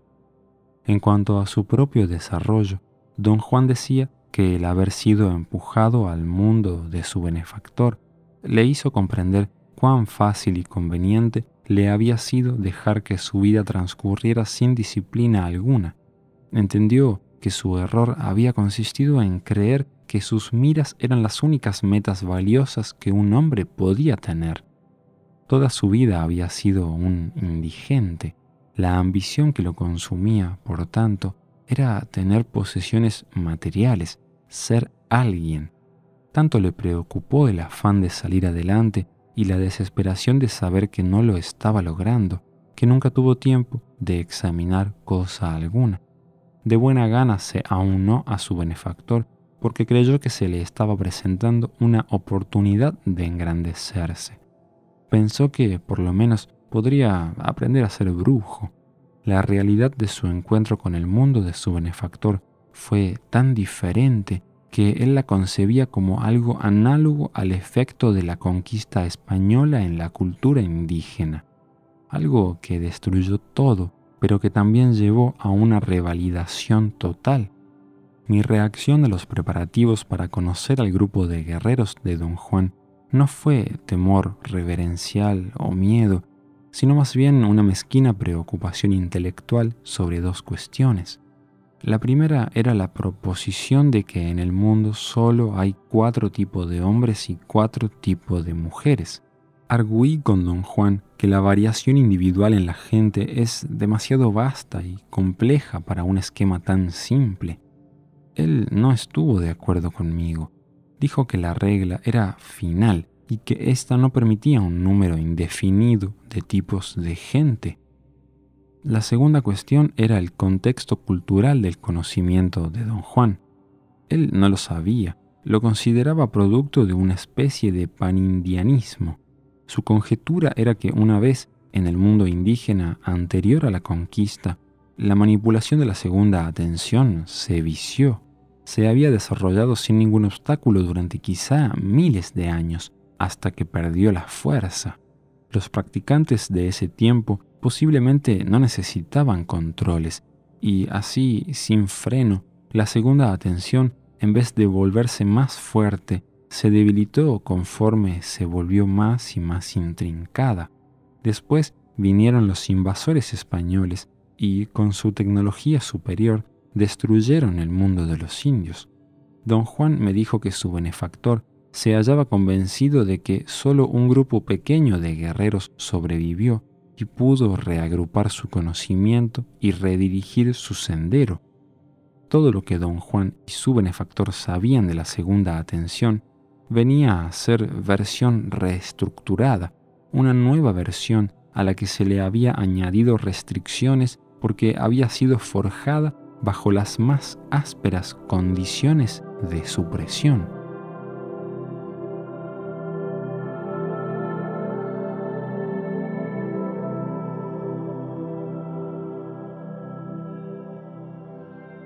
Capítulo 10. El grupo de guerreros del Nahual. Cuando don Juan consideró que era hora de que tuviera mi primer encuentro con sus guerreros, me hizo cambiar de niveles de conciencia. En ese momento me aclaró que él no tendría nada que ver con la manera en que ellos me trataran. Me previno que si decidían golpearme, él no los iba a detener. Podían hacer lo que desearan menos matarme. Subrayó una y otra vez que los guerreros de su grupo eran la perfecta réplica del grupo de su benefactor, salvo que algunas mujeres eran más feroces y todos los hombres eran absolutamente poderosos y sin igual. Por tanto, mi primer encuentro con ellos podría resultar como una colisión frontal. Yo, por otra parte, me hallaba nervioso y aprensivo, pero por otra cosa, curioso. Mi mente se abrumaba con infinitas especulaciones, la mayor parte de ellas sobre cómo serían los guerreros. Don Juan me dijo que él tenía dos opciones. Una era la posibilidad de enseñarme a memorizar un elaborado ritual como habían hecho con él, y la otra era hacer el encuentro lo más casual posible. Esperó un augurio que le señalara qué alternativa tomar. Su benefactor había hecho algo semejante, solo que había insistido en que don Juan aprendiera el ritual antes de que el augurio se presentara. Cuando don Juan le reveló sus ilusiones de dormir con cuatro mujeres, su benefactor lo interpretó como el augurio, dejó a un lado el ritual y terminó negociando por la vida de don Juan. En mi caso, don Juan quería un augurio antes de enseñarme el ritual. El augurio llegó cuando don Juan y yo viajábamos por un pueblo fronterizo en Arizona y un policía me detuvo. El policía creía que yo era un extranjero sin documentación, solo hasta que le mostré mi pasaporte que él supuso falsificado y otros documentos, me dejó ir. A don Juan, que estuvo junto a mí en el asiento delantero, el policía ni siquiera lo miró se había concentrado absolutamente en mí. Don Juan consideró que ese incidente era el augurio que esperaba. Lo interpretó como algo que señalaba lo peligroso que resultaría si yo llamaba la atención y concluyó que mi mundo debía de ser de la máxima simplicidad y candor. Toda pompa y rituales elaborados estarían fuera de carácter. Concedió, sin embargo, que sería adecuada una mínima observación de patrones ritualistas cuando me presentara a sus guerreros. Tenía que empezar aproximándome a ellos desde el sur, porque esa es la dirección que el poder sigue en su flujo incesante. La fuerza vital fluye hacia nosotros desde el sur y nos abandona fluyendo hacia el norte. Me dijo que la única entrada al mundo del Nahual era a través del sur, y que el portal se hallaba custodiado por dos guerreras, quienes tendrían que saludarme y dejarme pasar si así lo decidían. Me llevó a un pueblo del centro de México. Caminamos a una casa en el campo y cuando nos acercábamos a ella desde el sur, vi a dos indias macizas de pie, enfrentándose la una a la otra a un metro de distancia. Se hallaban a unos 10 o 15 metros de la puerta principal de la casa en un área donde la tierra estaba apisonada. Las dos mujeres eran extraordinariamente musculosas. Ambas tenían el pelo negrísimo y largo, juntado en una gruesa trenza. Parecían hermanas. Eran de la misma altura, del mismo peso. Calculé que debían de tener alrededor de un metro sesenta de estatura y un peso de unos setenta kilos. Una de ellas era bastante oscura casi negra y la otra mucho más clara. Se hallaban vestidas como típicas indias del centro de México, vestidos largos hasta el suelo, rebosos y huaraches caseros. Don Juan me hizo detener a un metro de ellas. Se volvió hacia la mujer que se hallaba a nuestra izquierda y me hizo mirarla. Me dijo que se llamaba Cecilia y que era ensoñadora. Luego se volvió abruptamente sin darme tiempo de decir nada y me hizo enfrentarme a la mujer más morena que se hallaba a nuestra derecha. Me dijo que su nombre era Delia y que era acechadora. Las mujeres me saludaron con un movimiento de cabeza. Ni sonrieron ni hicieron ningún gesto de bienvenida. Don Juan caminó entre ellas como si fueran dos columnas que señalaban un portón. Avanzó un par de pasos y se volvió como si esperara que ellas me invitaran a pasar. Me observaron calmadamente durante unos momentos. Después, Cecilia me invitó a entrar, como si yo me hallara en el umbral de una puerta verdadera. Don Juan guió el camino hacia la casa. En la puerta principal encontramos a un hombre.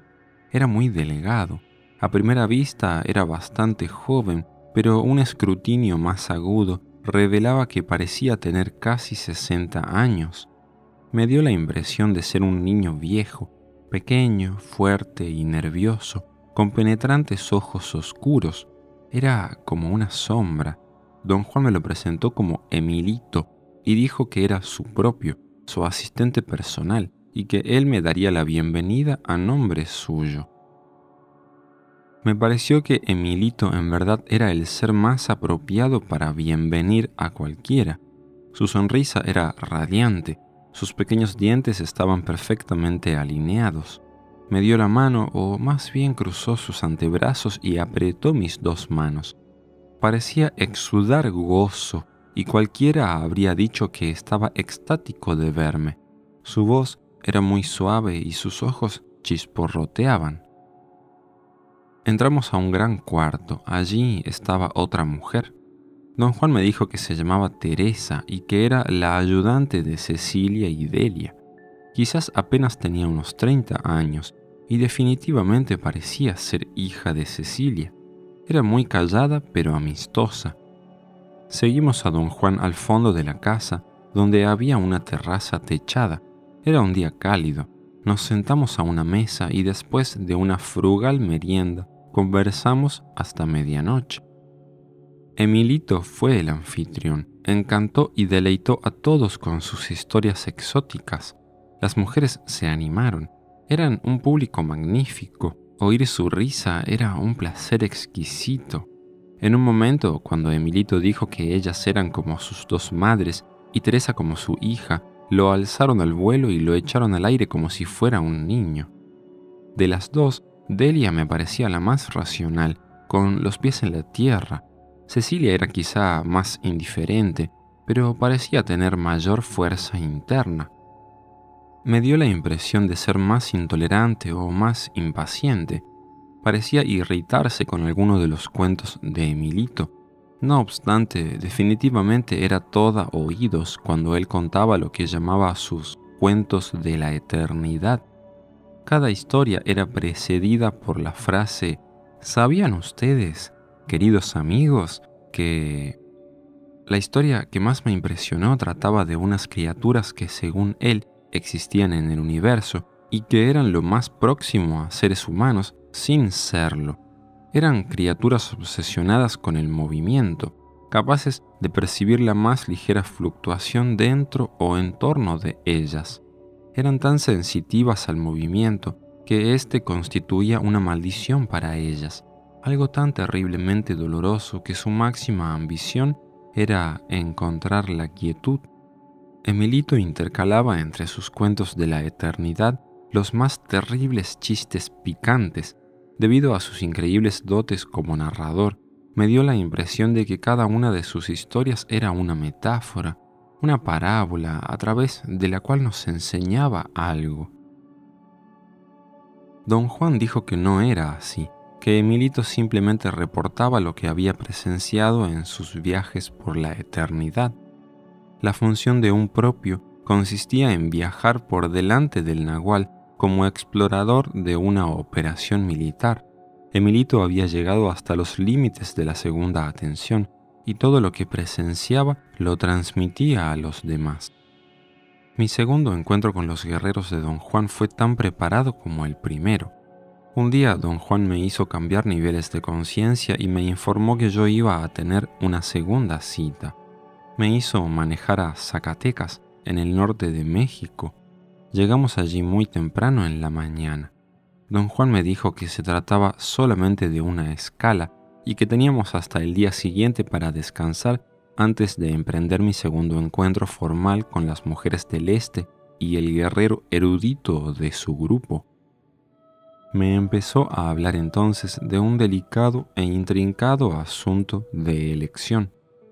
Dijo que habíamos conocido al sur y al propio a media tarde, porque él había hecho una interpretación personal de la regla y había elegido esa hora para representar la noche. El sur verdaderamente era la noche, una noche cálida, propicia, agradable, y propiamente debimos haber ido a conocer a las dos mujeres del sur después de la medianoche. Eso no hubiera sido buen auspicio para mí, puesto que mi dirección general era hacia la luz, hacia el optimismo, un optimismo que se desenvuelve armoniosamente y entra en el misterio de la oscuridad. Dijo que eso era precisamente lo que habíamos hecho ese día. Habíamos disfrutado nuestra reunión conversando y riendo en la luz del día y en la total oscuridad de la noche. Me extrañó en esa ocasión por qué no encendían las lámparas. Don Juan dijo que el este, por otra parte, era la mañana, la luz, y que deberíamos visitar a las mujeres del este en la mañana del día siguiente. Antes del desayuno fuimos al zócalo y tomamos asiento en una banca. Don Juan me pidió que me quedara allí y los esperase mientras él hacía algunos mandados. Se fue y poco después llegó una mujer y tomó asiento en el otro extremo de la banca. No le presté ninguna atención y empecé a leer un periódico. Un momento después otra mujer se le unió Quise irme a otra banca, pero recordé que don Juan había especificado que yo debía sentarme allí. Di la espalda a las mujeres y ya me había olvidado que estaban allí, puesto que todos estábamos en perfecto silencio, cuando un hombre las saludó y se detuvo justo frente a mí. Me di cuenta a través de su conversación que las mujeres lo habían estado esperando.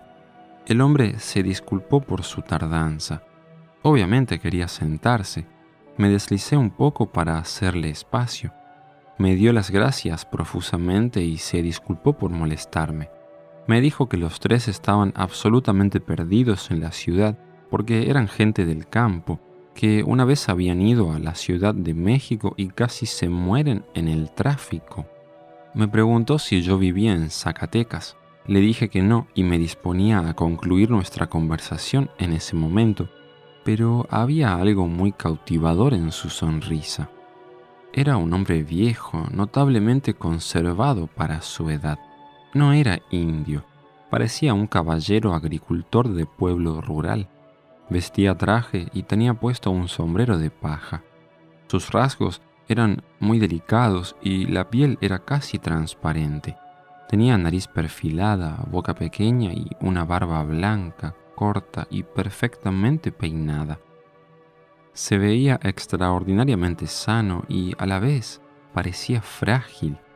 Era de estatura mediana, musculoso, pero al mismo tiempo daba la impresión de ser delgado, casi débil. Se puso en pie y se presentó. Me dijo que se llamaba Vicente Medrano, que estaría en la ciudad solamente por ese día y que las dos mujeres eran sus hermanas. Las mujeres se levantaron y nos miramos. Eran muy delgadas, más morenas que su hermano. También eran mucho más jóvenes, una de ellas lo bastante como para ser su hija. Advertí que la piel de ellas era más seca, no era como la de él. Las dos mujeres eran muy atractivas. Como el hombre tenían facciones delicadas y sus ojos eran claros y apacibles. Las dos medían como un metro sesenta, lucían vestidos bellamente cortados, pero con sus rebozos, sus zapatos sin tacón y sus medias de algodón oscuro semejaban campesinas adineradas. La de mayor edad parecía tener unos cincuenta años y la menor cuarenta. El hombre me las presentó. La mujer mayor se llamaba Carmela y la menor Hermelinda. Me puse en pie y brevemente estreché sus manos. Les pregunté si tenían hijos. Esa pregunta por lo general era la manera en que yo iniciaba conversaciones. Las mujeres rieron y al unísono pasaron las manos por sus estómagos para mostrarme cuán delgadas eran. El hombre me explicó con mucha calma que sus hermanas eran solteronas y que él mismo también era un viejo solterón. Me confió con un tono semibromista que por desgracia sus hermanas eran demasiado hombrunas, les faltaba esa feminidad que hace deseable a las mujeres y que por tanto nunca habían podido hallar marido. Les dije que así estaban mejor, considerando el papel subordinado de las mujeres en nuestra sociedad. Las mujeres no estuvieron de acuerdo. Dijeron que no les habría importado subordinarse si tan solo hubiesen hallado hombres que quisieran ser sus dueños. La más joven dijo que el verdadero problema era que su padre no les había enseñado a comportarse como mujeres. El hombre comentó con un suspiro que el padre era tan dominante que también a él le había impedido casarse. Los tres suspiraron y se mostraron sombríos. A mí me dio risa. Después de un prolongado silencio, volvimos a tomar asiento, y el hombre dijo que si yo me quedaba allí un poco más, tendría la oportunidad de conocer al padre de ellos, quien aún era muy fogoso a pesar de su edad tan avanzada. Añadió con un tono tímido que su padre los iba a llevar a desayunar porque ellos nunca llevaban dinero. Su papá era el que administraba la economía. Quedé estupefacto. Esos viejos que parecían tan fuertes en realidad eran como niños débiles y azorados. Les dije adiós y me puse en pie para retirarme. El hombre y sus hermanas insistieron en que me quedara. Me aseguraron que a su papá le encantaría que yo los acompañara a desayunar. Yo no quería conocer a su padre y a la vez tenía curiosidad. Les dije que yo también esperaba a alguien. En ese momento las mujeres empezaron a reír con sus risas ahogadas que después se convirtieron en carcajadas estentóreas. El hombre también se dejó llevar por una risa incontenible. Me sentí estúpido. Mi deseo era irme al instante de allí. En ese momento don Juan llegó y me di cuenta de toda la maniobra. No me pareció divertida. Todos nos pusimos en pie. Ellos aún reían cuando don Juan me dijo que las mujeres eran el este Carmela era acechadora y Hermelinda ensoñadora. Vicente era el guerrero erudito y el compañero más antiguo de don Juan. Conforme nos alejábamos del zócalo, otro hombre se nos unió, un indio moreno y alto, quizá de unos 40 años. Vestía pantalones de mezclilla y un sombrero de vaquero. Parecía ser terriblemente fuerte y huraño don Juan me lo presentó como Juan Tuma, el propio y el asistente de investigaciones de Vicente. Caminamos a un restaurante que se hallaba a unas cuadras. Las mujeres me pusieron entre ellas. Carmela me dijo que esperaba que yo no me hubiera ofendido, que tuvieron la alternativa de simplemente presentarse conmigo o de jugarme una broma, lo que los decidió en favor de embromarme fue mi actitud absolutamente snob de darles la espalda y de querer cambiarme de banca. Hermelinda agregó que uno tiene que ser completamente humilde y no cargar nada que uno no tenga que defender, ni siquiera su propia persona. La persona de uno debe protegerse, pero no defenderse. Al desairarlos ya no me protegía, sino que simplemente estaba defendiéndome. Me sentí belicoso. Francamente, su broma me había caído mal.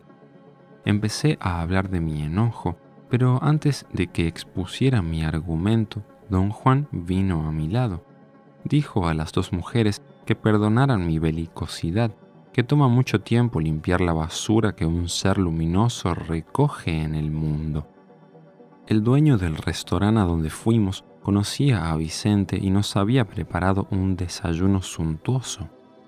Todos ellos estaban de magnífico humor, pero yo no podía acabar con mi enojo. Entonces, a petición de don Juan, Juan Tuma nos comenzó a hablar de sus viajes. Era un hombre de hechos. Me hipnotizaron sus secas narraciones de cosas que estaban más allá de mi entendimiento. Para mí la más fascinante fue la descripción de unos rayos de luz o de energía que supuestamente entrelazan la Tierra. Dijo que esos rayos no fluctúan como todo lo demás en el universo, sino que se hallan fijos en un patrón. Ese patrón coincide con cientos de puntos del cuerpo luminoso. Hermelinda creía que todos esos puntos se encontraban en nuestro cuerpo físico, pero Juan Tuma explicó que, puesto que el cuerpo luminoso es bastante grande, algunos de esos puntos están localizados hasta un metro de distancia del cuerpo físico. En cierto sentido, se hallan fuera de nosotros y sin embargo esto no es así. Están en la periferia de nuestra luminosidad y por lo tanto pertenecen al cuerpo total. El punto más importante se localiza a unos 30 centímetros del estómago, a 40 grados a la derecha de una línea imaginaria que se desprende recta hacia adelante.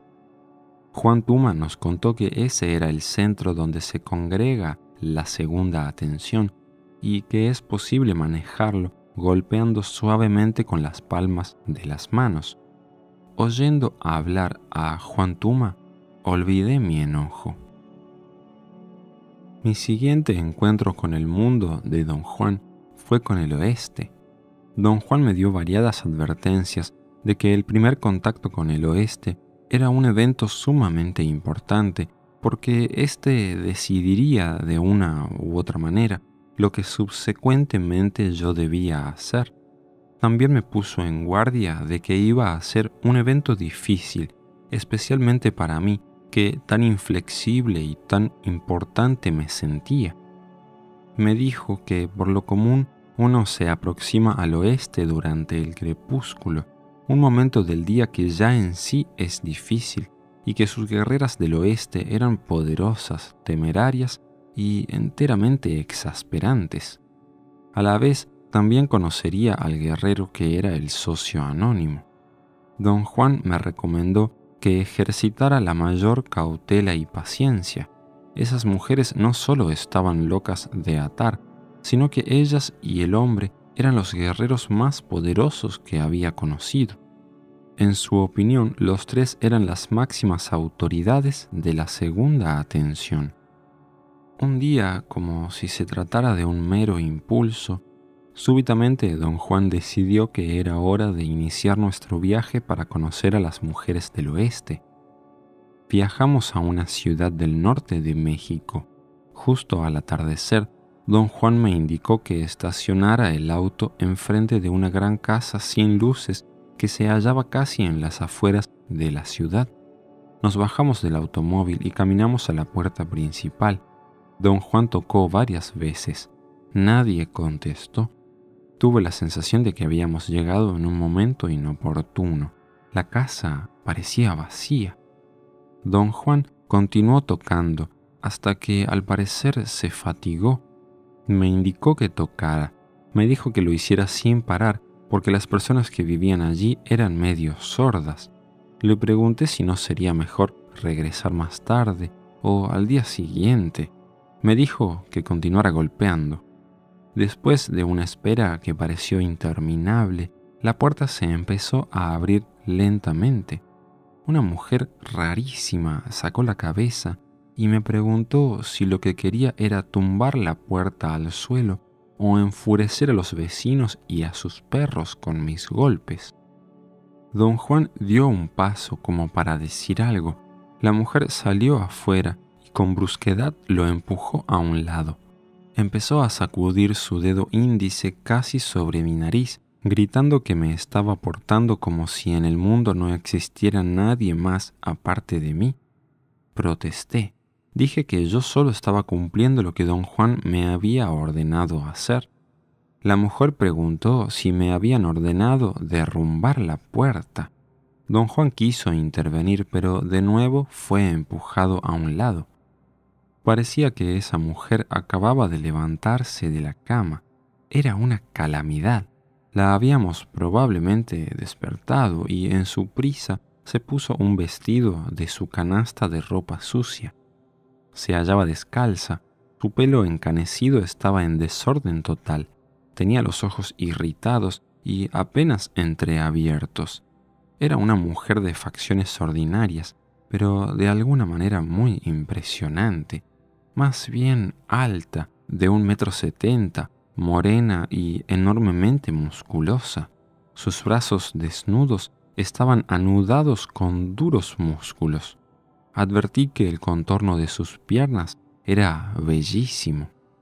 Ella me miró de arriba abajo, irguiéndose por encima de mí, y gritó que no había oído mis disculpas. Don Juan me susurró que debería disculparme con voz fuerte y clara. Una vez que lo hice, la mujer sonrió y se volvió hacia don Juan y lo abrazó como si fuera un niño. Gruñó que él no debió hacerme golpear la puerta porque mi contacto era demasiado furtivo y perturbador. Tomó a don Juan del brazo, lo condujo al interior y lo ayudó a cruzar la puerta, que por cierto tenía un pie muy alto. Lo llamaba queridísimo viejecillo. Don Juan se rió. Yo me hallaba asombrado viéndolo comportarse como si le fascinaran las absurdidades de esa temible mujer. Una vez que ayudó al queridísimo viejecillo a entrar en la casa, ella se volvió hacia mí e hizo un gesto con la mano para ahuyentarme, como si yo fuera un perro. Se rió al ver mi sorpresa. Sus dientes eran grandes, disparejos y sucios. Después pareció cambiar de opinión y me indicó que entrara. Don Juan se dirigía a una puerta que yo difícilmente podía distinguir al final de un oscuro pasillo. La mujer lo regañó por ignorar hacia dónde se dirigía. Nos condujo por otro pasillo oscuro. La casa parecía inmensa y no había una sola luz en ella.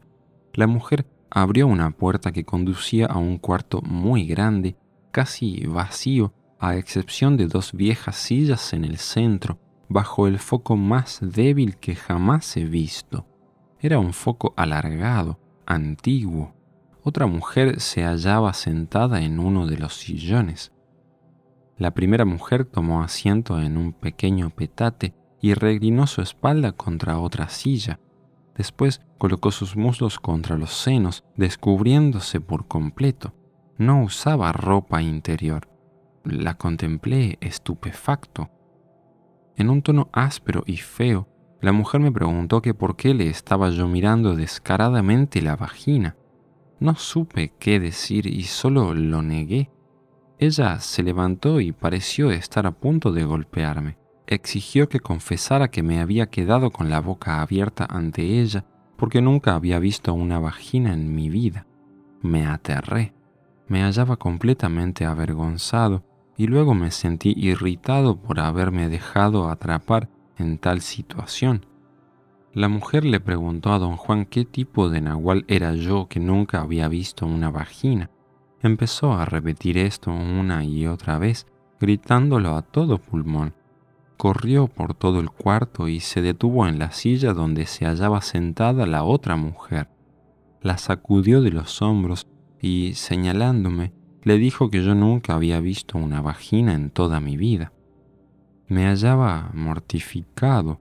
Esperaba que don Juan hiciera algo para evitarme esa humillación. Recordé que me había dicho que esas mujeres estaban bien locas. Se había quedado corto. Esa mujer estaba en su punto para el manicomio. Miré a don Juan en busca de consejo y apoyo. Él desvió su mirada parecía hallarse igualmente perdido, aunque me pareció advertir una sonrisa maliciosa que ocultó rápidamente volviendo la cabeza. La mujer se tendió boca arriba, se alzó la falda y me ordenó que mirara hasta hartarme en vez de estar con miraditas aviesas. Mi rostro debió enrojecer a juzgar por el calor que sentí en la cabeza y el cuello. Me hallaba tan molesto que casi perdía el control. Tenía ganas de aplastarle la cabeza. La mujer que se hallaba en la silla repentinamente se puso en pie y tomó del pelo a la otra. La hizo levantarse con un solo movimiento, al parecer sin ningún esfuerzo. Se me quedó mirando con los ojos entrecerrados y aproximó su rostro a unos cinco centímetros del mío. Su olor era sorprendentemente fresco. con una voz muy chillante, dijo que deberíamos acabar con lo que empezamos. Las dos mujeres quedaron muy cerca de mí bajo el foco. No se parecían.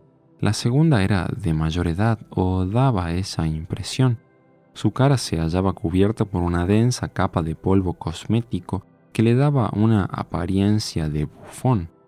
Su cabello estaba arreglado en un moño. Parecía muy serena, salvo un continuo temblor en el labio inferior y la barbilla.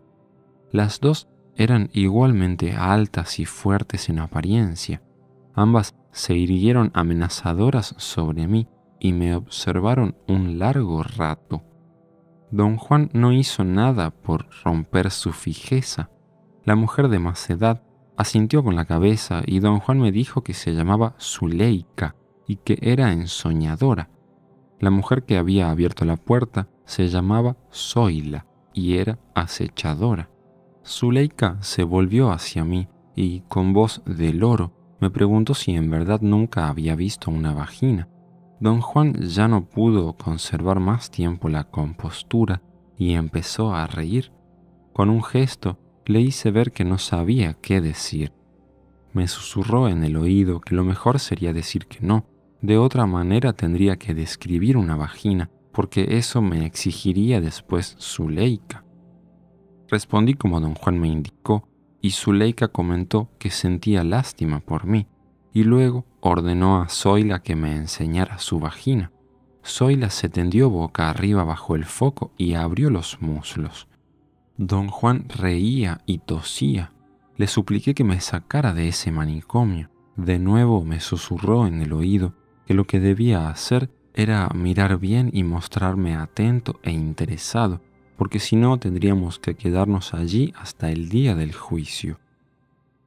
Luego de un examen cuidadoso y atento, Zuleika dijo que a partir de ese momento podía yo alardear de ser un conocedor y que si alguna vez me topaba con una mujer sin pantaletas, ya no sería tan vulgar y obsceno como para quedarme visco mirándola, porque ya había visto una vagina. Caminando muy despacio, Zuleika nos condujo al patio, me susurró que allí se hallaba alguien esperando conocerme. El patio estaba en completas tinieblas.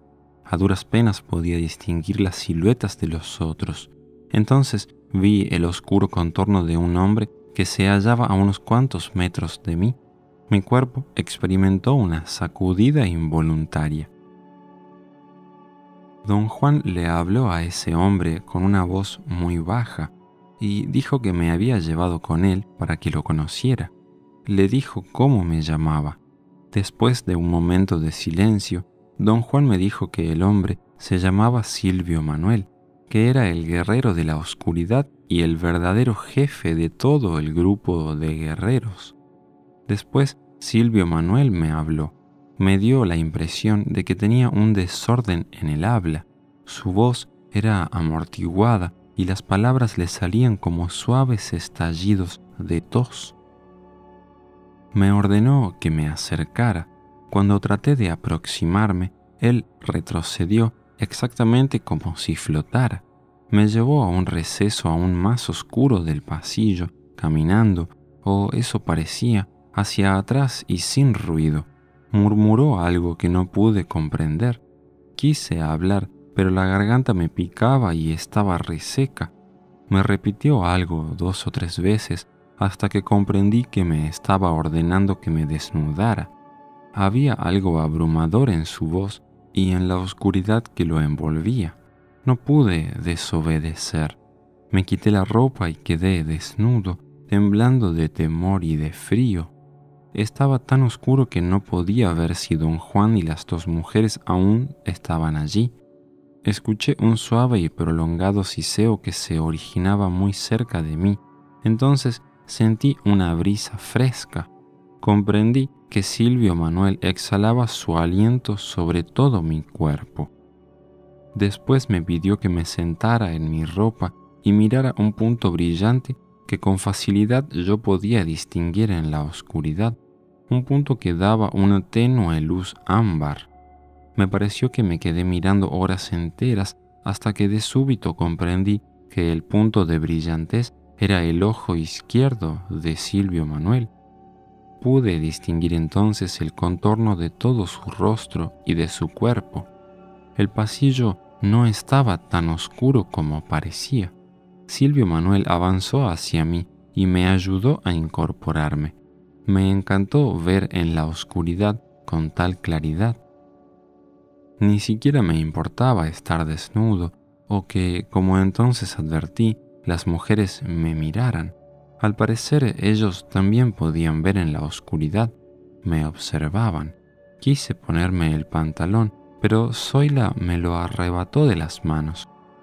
Las dos mujeres y Silvio Manuel me observaron durante un largo rato.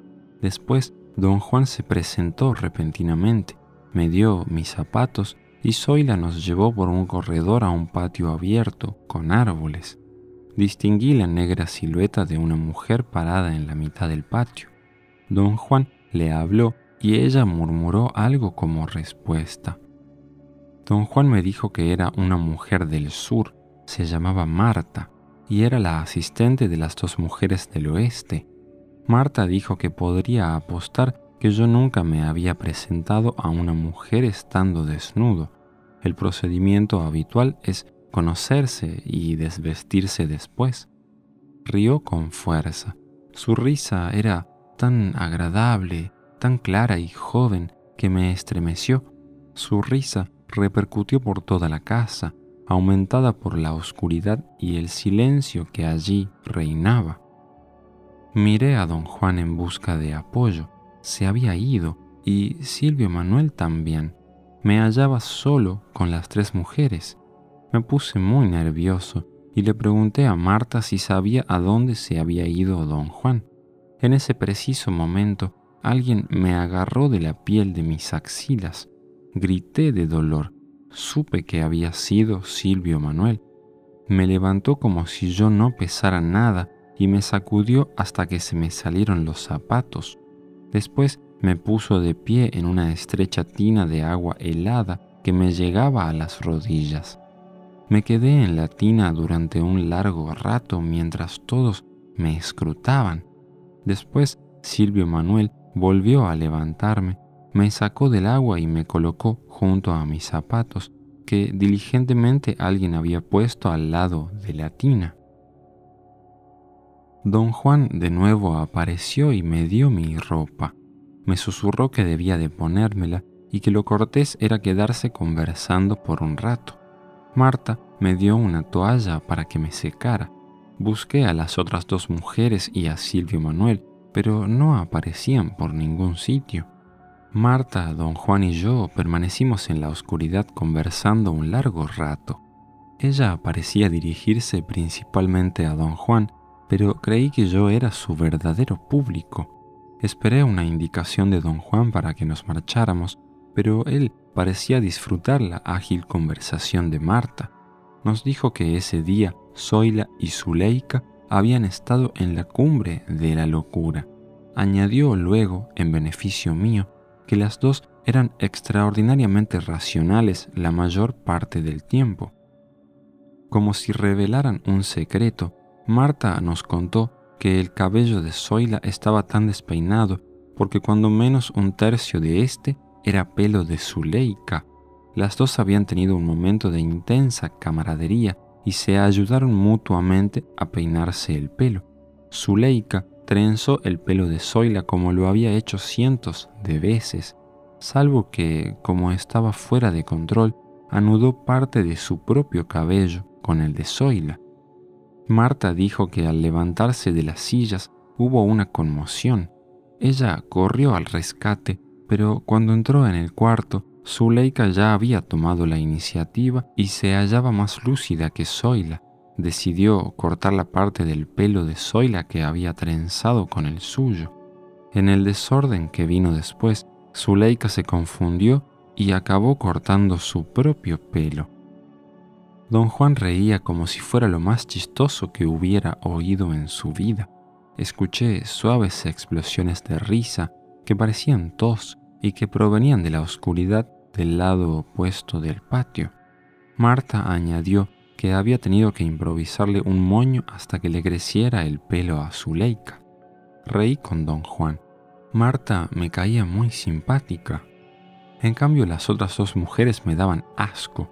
Marta, por el contrario, parecía un parangón de calma y de voluntad férrea. No podía ver sus rasgos, pero la imaginé muy hermosa. El sonido de su voz era cautivante. Muy cortésmente, ella le preguntó a don Juan si yo querría algo de comer. Él respondió que yo no me sentía muy a gusto, que digamos, con Zuleika y Zoila, y que probablemente acabaría en náuseas. Marta me aseguró que las dos mujeres ya se habían ido, y tomó mi brazo y nos llevó a través de un corredor aún más oscuro hasta una bien iluminada cocina. El contraste fue excesivo para mis ojos. Me quedé en el umbral de la puerta tratando de acostumbrarme a la luz. La cocina era de techo alto y bastante moderna y funcional. Tomamos asiento en una especie de desayunador. Marta era joven y muy fuerte, tenía una figura llena, voluptuosa, rostro circular y nariz y boca pequeñas.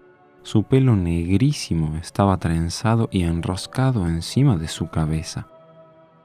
Estaba seguro de que ella habría estado tan curiosa por examinarme como yo por verla en la luz. Nos sentamos y comimos y hablamos durante horas. Yo quedé fascinado. Era una mujer sin educación y sin embargo me tuvo absorto con su conversación. Nos contó chistosísimas y detalladas historias de las ridiculeces que Zoila y Zuleika hacían cuando estaban locas.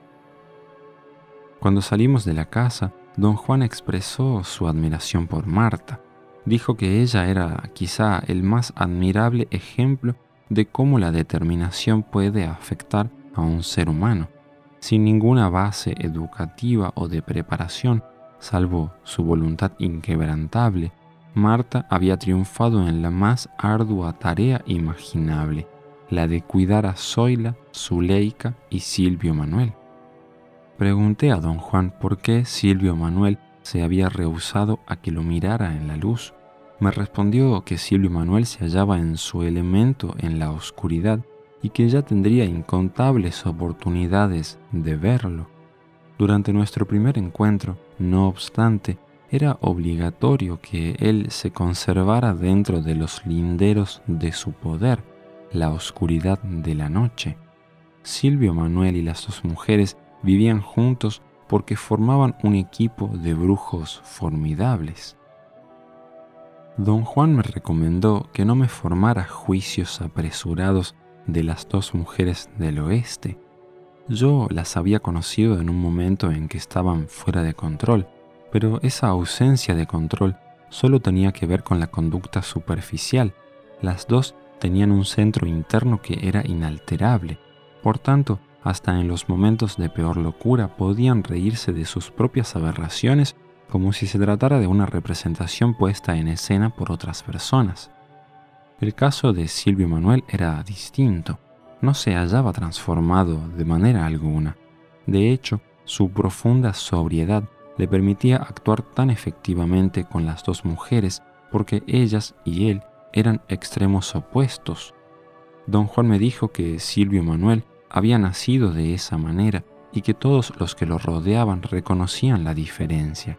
Aún el mismo benefactor de don Juan, que era duro e implacable con todos, prodigaba especial atención a Silvio Manuel.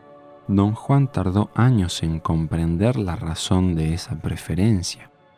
Debido a algo inexplicable en su naturaleza, una vez que Silvio Manuel ingresó en la conciencia del lado izquierdo, nunca más salió de allí. Su proclividad a permanecer en un estado de conciencia acrecentada, aunado a la soberbia capacidad de su benefactor, le permitieron llegar antes que los demás no sólo a la conclusión de que la regla es un mapa y que en realidad existe otro tipo de conciencia, sino también el pasaje real y concreto que conduce al otro mundo de la conciencia. Don Juan decía que Silvio Manuel, de la manera más impecable, equilibraba sus ganancias excesivas poniéndolas al servicio del propósito común de todos ellos. Silvio Manuel era la fuerza silenciosa que se hallaba tras don Juan. Mi último encuentro introductorio con los guerreros de don Juan fue con el norte. Don Juan me llevó a la ciudad de Guadalajara a fin de llevarlo a cabo. Me dijo que nuestra cita era a solo una corta distancia del centro de la ciudad, que tendría lugar al mediodía, porque el norte era el mediodía. Dejamos el hotel a las 11 de la mañana y nos paseamos tranquilamente por la zona del centro. Caminaba sin fijarme, preocupado por el encuentro, cuando me estrellé de cabeza con una dama que salía apresurada de una tienda. Llevaba unos paquetes que se esparcieron por la acera. Pedí disculpas y empecé a ayudarla a recogerlos. Don Juan me urgió a que me apurara para no llegar demasiado tarde. La señora parecía aturdida por el golpe. La sostuve del brazo. Era una mujer alta, muy esbelta, quizá de unos 60 años, vestida con suma elegancia. Parecía una dama de sociedad.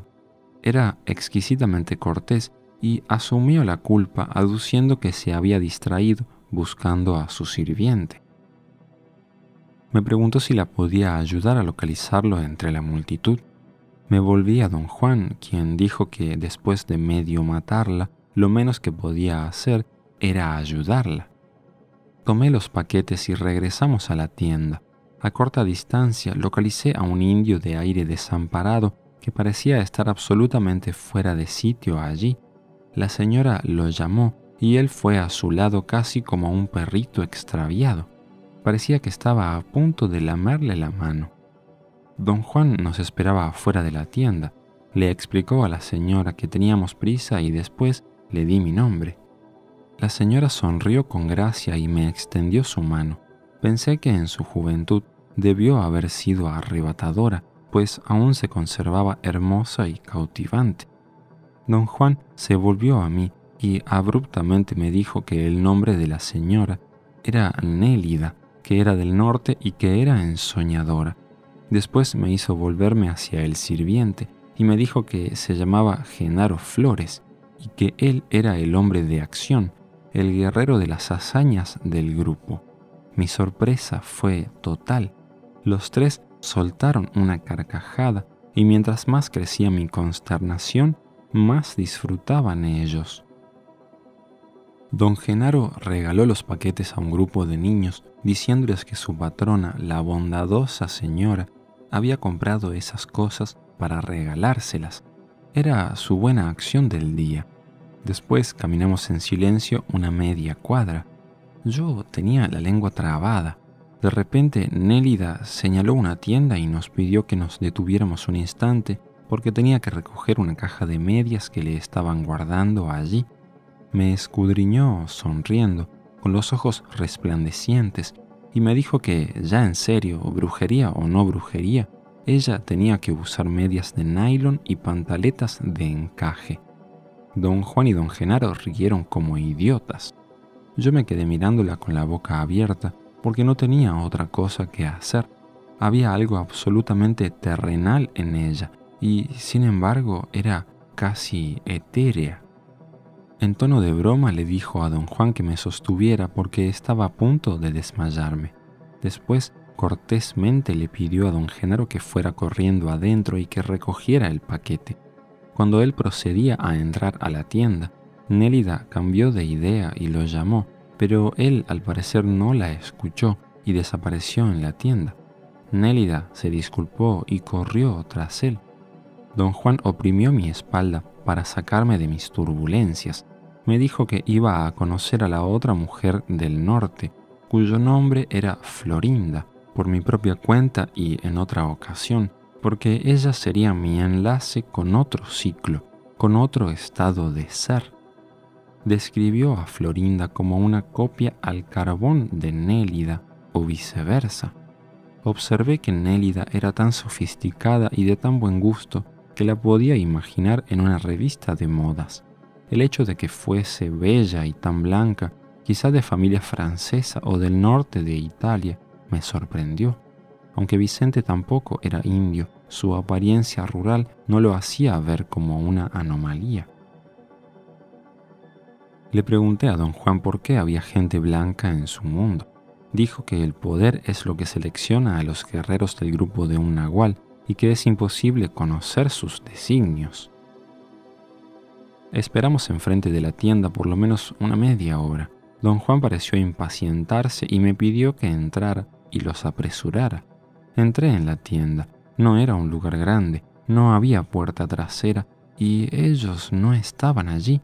Les pregunté a los empleados, pero nadie pudo darme razón.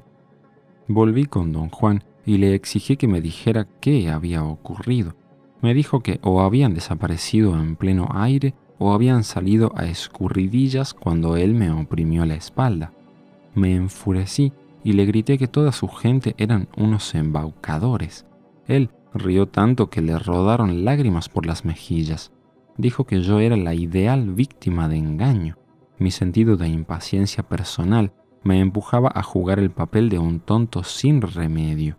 Mi irritación lo hacía reír con tanta fuerza que tuvo que apoyarse en la pared. La gorda me relató su primer encuentro con los miembros del grupo de Don Juan. Su versión difería solo en el contenido, la forma era la misma. Los guerreros quizá fueron un poco más violentos con ella. La gorda lo interpretó como un experimento para sacarla de su modorra, o una reacción natural por parte de ellos a lo que ella consideraba su detestable personalidad. A medida que revisábamos el mundo de don Juan, nos íbamos dando cuenta de que este era una réplica del mundo de su benefactor. Se podía ver que consistía o de grupos o de casas. Había un grupo de cuatro pares independientes de mujeres que parecían hermanas y que trabajaban y vivían juntas. Otro grupo estaba compuesto por don Juan y tres hombres de la edad de don Juan y muy allegados a él un par de mujeres del sur, más jóvenes que las demás, que parecían tener lazos de parentescos entre ellas, Marta y Teresa, y finalmente un par de hombres menores que don Juan, los propios Emilito y Juan Tuma, pero también parecían consistir en cuatro casas aparte, localizadas muy lejos la una de la otra en distintas zonas de México. Una se hallaba compuesta por las dos mujeres del oeste, Zuleika y Zoila, Silvio Manuel y Marta. La siguiente estaba formada por las dos mujeres del sur, Cecilia y Delia. Emilito, que era el propio de don Juan, y Teresa. Otra casa estaba hecha por Carmela y Hermelinda, las mujeres del oeste, Vicente y el propio Juan Tuma. Y por último la de las mujeres del norte, Nélida, Florinda y don Genaro. Según don Juan, su mundo no tenía ni la armonía ni el equilibrio del de su benefactor. Las dos únicas mujeres que se equilibraban completamente la una a la otra y que parecían gemelas idénticas eran las guerreras del norte, Nélida y Florinda.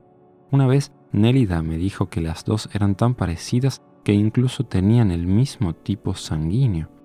Para mí, una de las sorpresas más agradables fue la transformación de Zuleika y Zoila, quienes habían sido tan repugnantes. Resultaron ser, como había dicho don Juan, las guerreras más sobrias que se pudiera imaginar. No lo podía creer cuando las vi por segunda vez. El ataque de locura había pasado y ahora asemejaban dos señoras bien vestidas, altas, morenas y musculosas, con brillantes ojos oscuros como pedazos de resplandeciente obsidiana negra rieron y bromearon conmigo por lo que ocurrió la noche de nuestro primer encuentro, como si otras personas y no ellas hubieran tomado parte de él. Puede comprenderse fácilmente el tumulto emocional de don Juan causado por las guerreras del oeste del grupo de su benefactor. Para mí también era imposible aceptar que Zuleika y Zoila pudiesen transformarse en criaturas repugnantes y detestables me tocó la oportunidad de presenciar esa metamorfosis en varias ocasiones. Felizmente, nunca pude juzgarlas tan ásperas como lo hice en el primer encuentro. Más que nada, sus excesos me causaban tristeza. Pero la sorpresa más grande me la deparó Silvio Manuel. En la oscuridad de nuestro primer encuentro, lo imaginé como un hombre imponente, un gigante avasallador. En realidad era pequeño, pero no frágilmente pequeño. Su cuerpo era como el de un jinete de carreras, un jockey pequeño pero perfectamente proporcionado. Me pareció que hubiera podido ser un gimnasta. Su control físico era tan notable que podía inflarse como si fuera un sapo hasta casi el doble de su tamaño, expandiendo todos los músculos de su cuerpo. Daba asombrosas demostraciones de cómo podía descoyuntar sus miembros y reacomodarlos nuevamente sin ninguna manifestación de dolor. Al mirar a Silvio Manuel siempre experimenté un profundo, desconocido sentimiento de temor. Para mí era como un visitante de otro tiempo, era moreno pálido como estatua de bronce. Sus rasgos eran afilados, su nariz aguileña, sus labios gruesos y sus ojos oblicuos ampliamente separados lo hacían parecer una figura estilizada de un fresco maya. Durante el día era amigable y simpático, pero tan pronto oscurecía, se volvía insondable. Su voz se transformaba, tomaba asiento en una esquina oscura y se dejaba devorar por la oscuridad. Todo lo que quedaba visible de él era su ojo izquierdo, que permanecía abierto y adquiría un fulgor extraño, como ojos de felino. Una cuestión secundaria que emergió en el transcurso de nuestro trato con los guerreros de Don Juan fue el tema del desatino controlado. Don Juan me dio una explicación sucinta de una vez que se hallaba exponiendo las dos categorías en las que obligatoriamente se dividen las mujeres guerreras, ensoñadoras y acechadoras.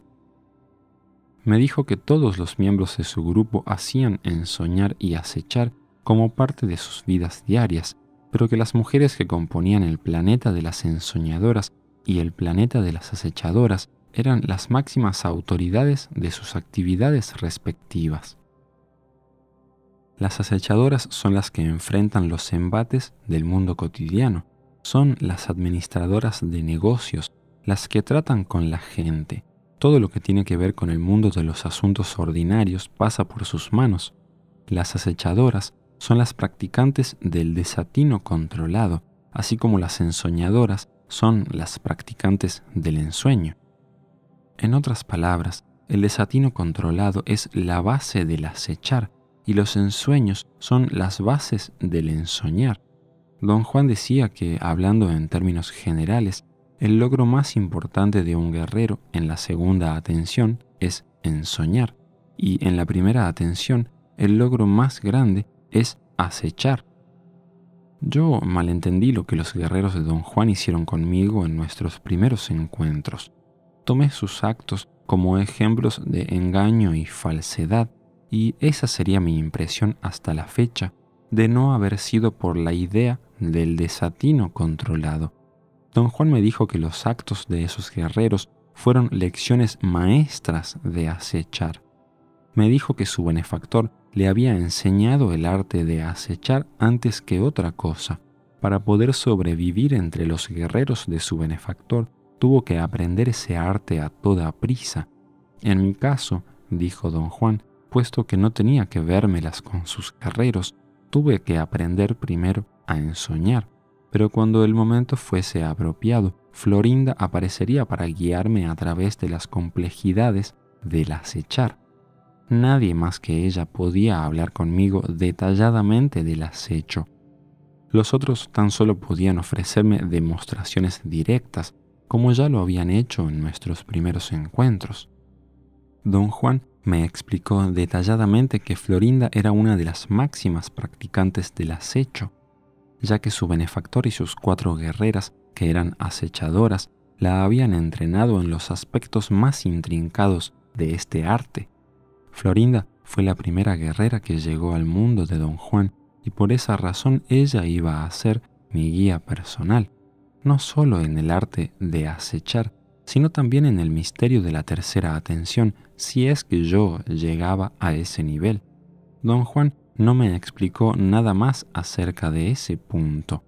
Me dijo que eso tendría que esperar a que yo estuviera listo, primero para aprender a acechar y después a entrar en la tercera atención. Don Juan decía que su benefactor había sido muy meticuloso con cada uno de sus guerreros al adiestrarlos en el arte de acechar. Utilizó toda clase de estratagemas a fin de crear un contrapunto entre los dictados de la regla y la conducta de los guerreros en el mundo cotidiano.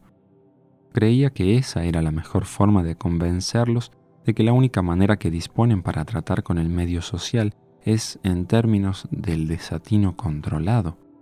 A medida que desarrollaba sus estratagemas, el benefactor de don Juan ponía a la gente y a los guerreros frente a los mandatos de la regla y dejaba que el drama natural se desenvolviese por sí mismo. La insensatez de la gente tomaba la delantera y por un momento arrastraba con ella a los guerreros, como parece ser lo natural, pero siempre será vencida por los designios más abarcantes de la regla. Don Juan nos dijo que en un principio se sintió profundamente agraviado por el control que su benefactor ejercía sobre sus guerreros. Incluso se lo echó en cara. Su benefactor no se inmutó. Sostuvo que su control era tan solo una ilusión que el águila creaba. Él solamente era un guerrero impecable y sus actos representaban un humilde intento de reflejar al águila. Don Juan decía que el impulso con el cual su benefactor llevaba a cabo sus estratagemas se originaba en su certeza de que el águila era real y final, y en su certeza de que lo que la gente hace es un desatino absoluto. Esas dos convicciones daban origen al desatino controlado, que el benefactor de don Juan describía como el único puente que existe entre la insensatez de la gente y la finalidad de los dictados del águila.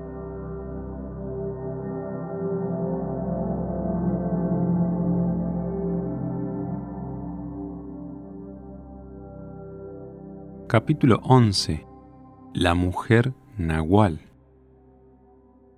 Don Juan me dijo que cuando fue puesto bajo el cuidado de las mujeres del oeste para ser purificado, también lo pusieron bajo la tutela de la mujer del norte, que era el equivalente de Florinda, para que ésta le enseñara los principios del arte de acechar.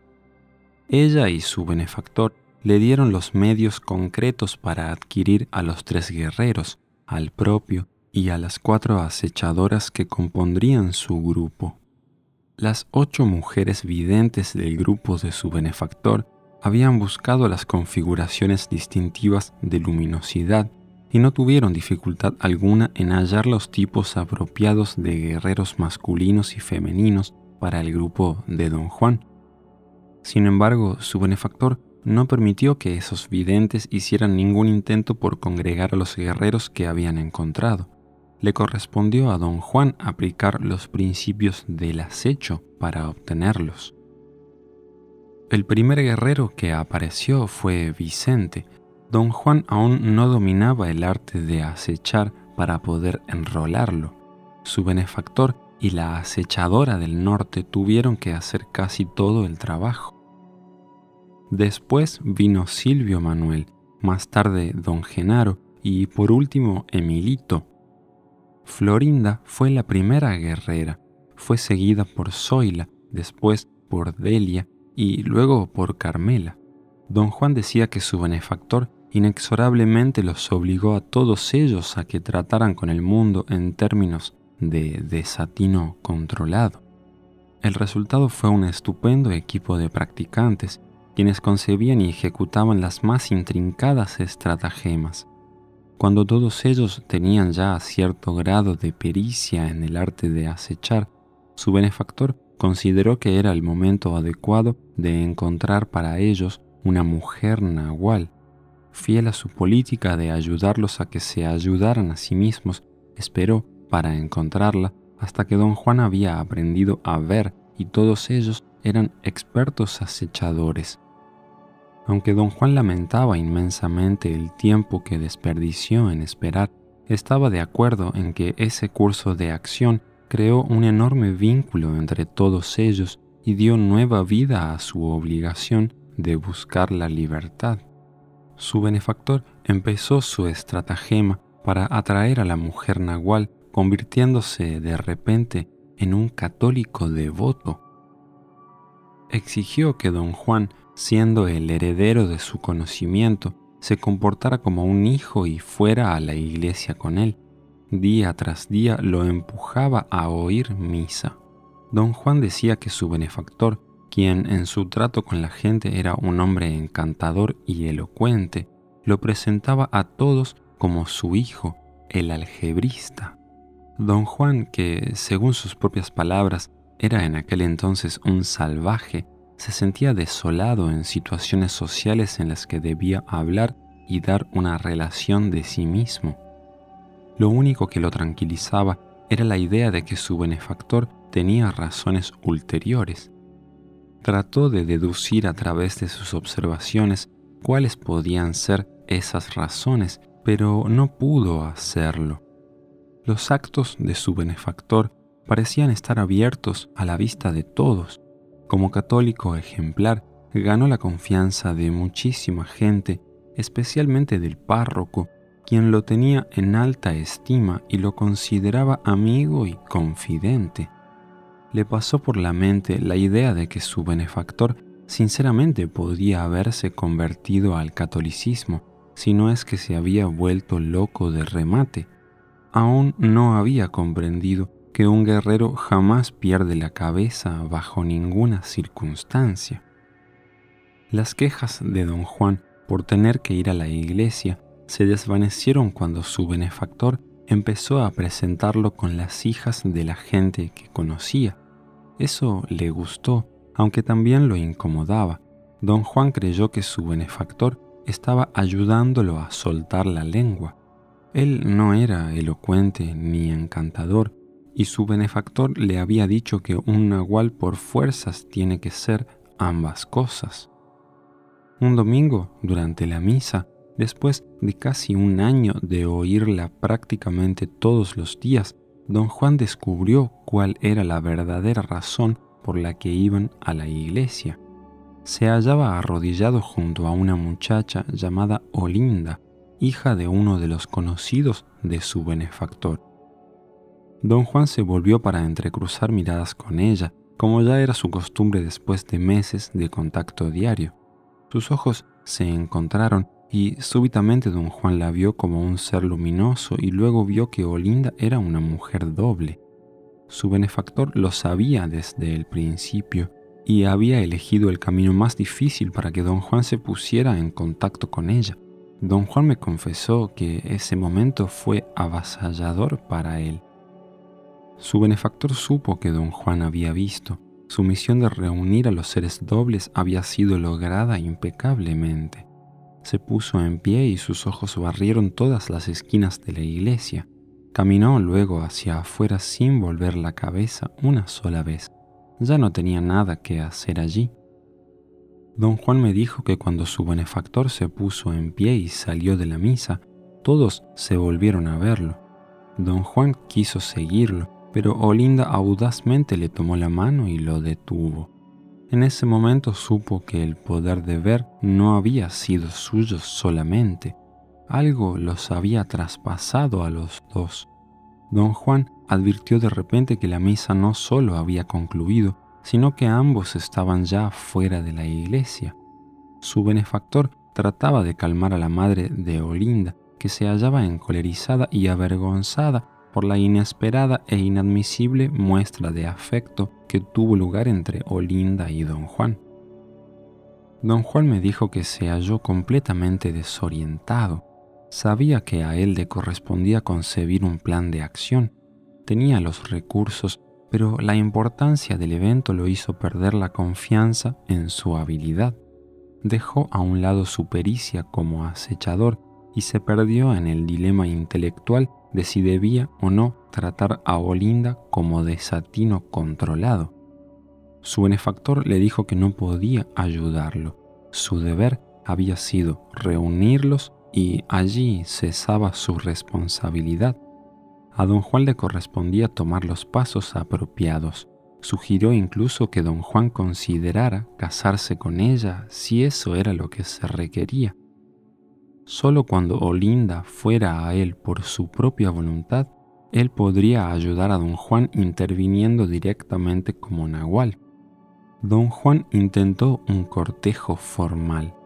No fue bien recibido por los padres, quienes no podían concebir que alguien de una clase social tan distinta fuese pretendiente de su hija. Olinda no era india, su familia era de clase media, dueña de un pequeño negocio. El padre tenía otros planes para su hija amenazó con enviarla a la capital si don Juan insistía en casarse con ella. Don Juan me dijo que los seres dobles, las mujeres en especial, son extraordinariamente moderados, incluso tímidos. Olinda no era una excepción. Después de la exaltación inicial en la iglesia, fue dominada por la prudencia y después por el miedo. Sus propias reacciones la asustaban.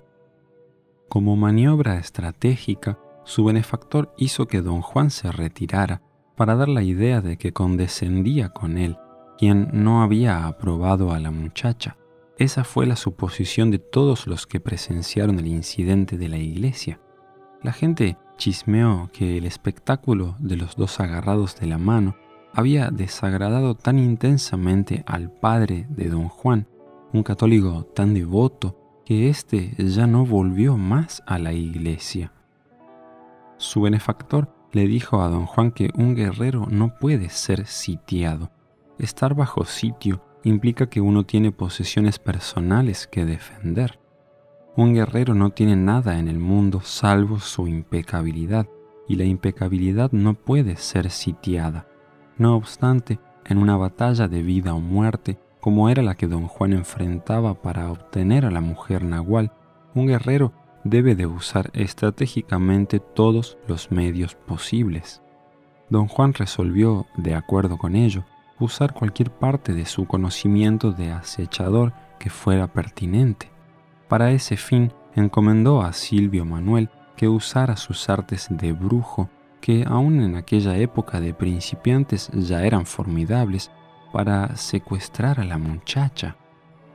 Silvio Manuel y Genaro, quien era verdaderamente temerario, entraron furtivamente en la casa de la muchacha disfrazados de lavanderas. Era mediodía y todos en la casa estaban ocupados preparando comida para los parientes y amigos que habían invitado a cenar. Se trataba de una fiesta de despedida para Olinda. Silvio Manuel contaba con la posibilidad de que los que vieran a dos extrañas lavanderas entrando con unos atados de ropa creyesen que tenían que ver con la fiesta de Olinda y que de esa forma no sospecharían nada. Don Juan había proporcionado a Silvio Manuel y a Genaro de antemano toda la información necesaria acerca de las rutinas de los miembros de la casa.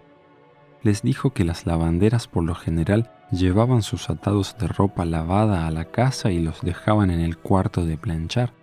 Silvio, Manuel y Genaro, cargados de enormes atados de ropa, fueron directamente a ese cuarto, pues sabían que Olinda estaría allí.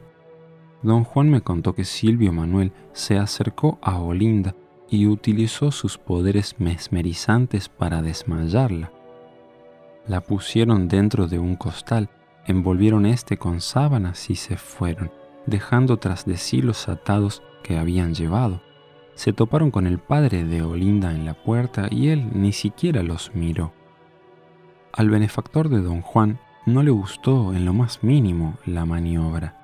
Ordenó a don Juan que llevase inmediatamente a la muchacha de vuelta a su casa. Era imperativo, dijo, que la mujer doble llegase a la casa del benefactor por su propia voluntad, quizá no con la idea de unírseles, sino cuando menos porque ellos le interesaban. Don Juan creyó que todo estaba perdido. Las posibilidades de que pudiera regresarla a su casa sin que nadie se diera cuenta eran mínimas.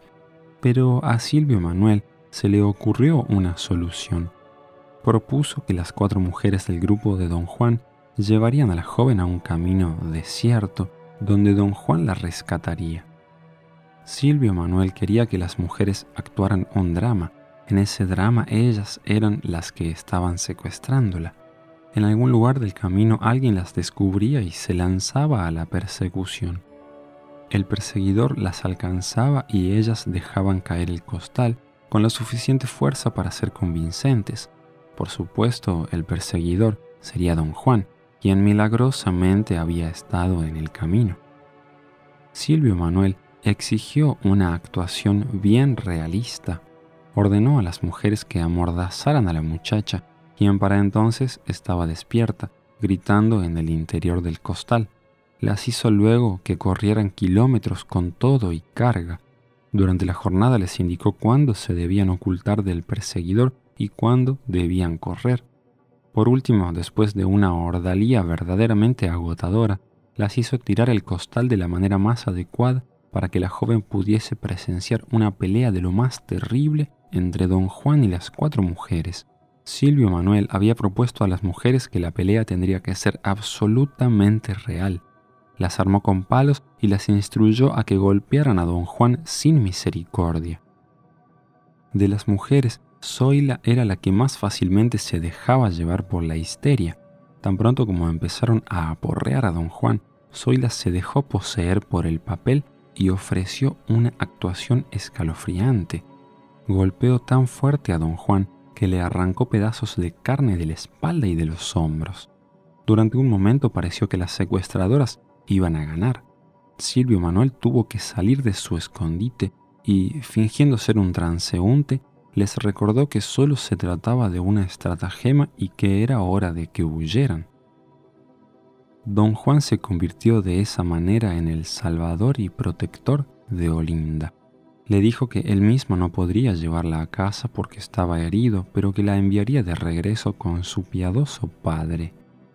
Ella le ayudó a caminar a casa de su benefactor. Don Juan me dijo que no tuvo que fingir estar herido, Sangraba profusamente y a duras penas pudo llegar a la puerta.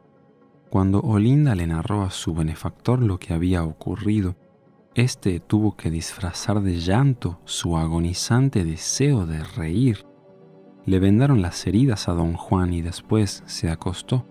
Olinda empezó a explicarle por qué no podía casarse con él, pero no pudo terminar. El benefactor de don Juan entró al cuarto y le dijo a Olinda que le era evidente al verla caminar que las secuestradoras le habían lesionado la espalda.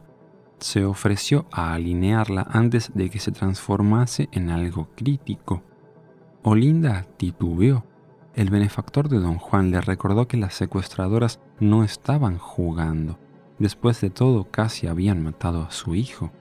Olinda fue al lado del benefactor y permitió que éste le propinara un golpe en el omóplato se oyó un chasquido y Olinda entró en un estado de conciencia acrecentada. El benefactor le reveló la regla y, al igual que don Juan, ella la aceptó de lleno. No hubo duda ni titubeos. La mujer Nahual y don Juan encontraron plenitud, unidad y silencio en su compañía mutua.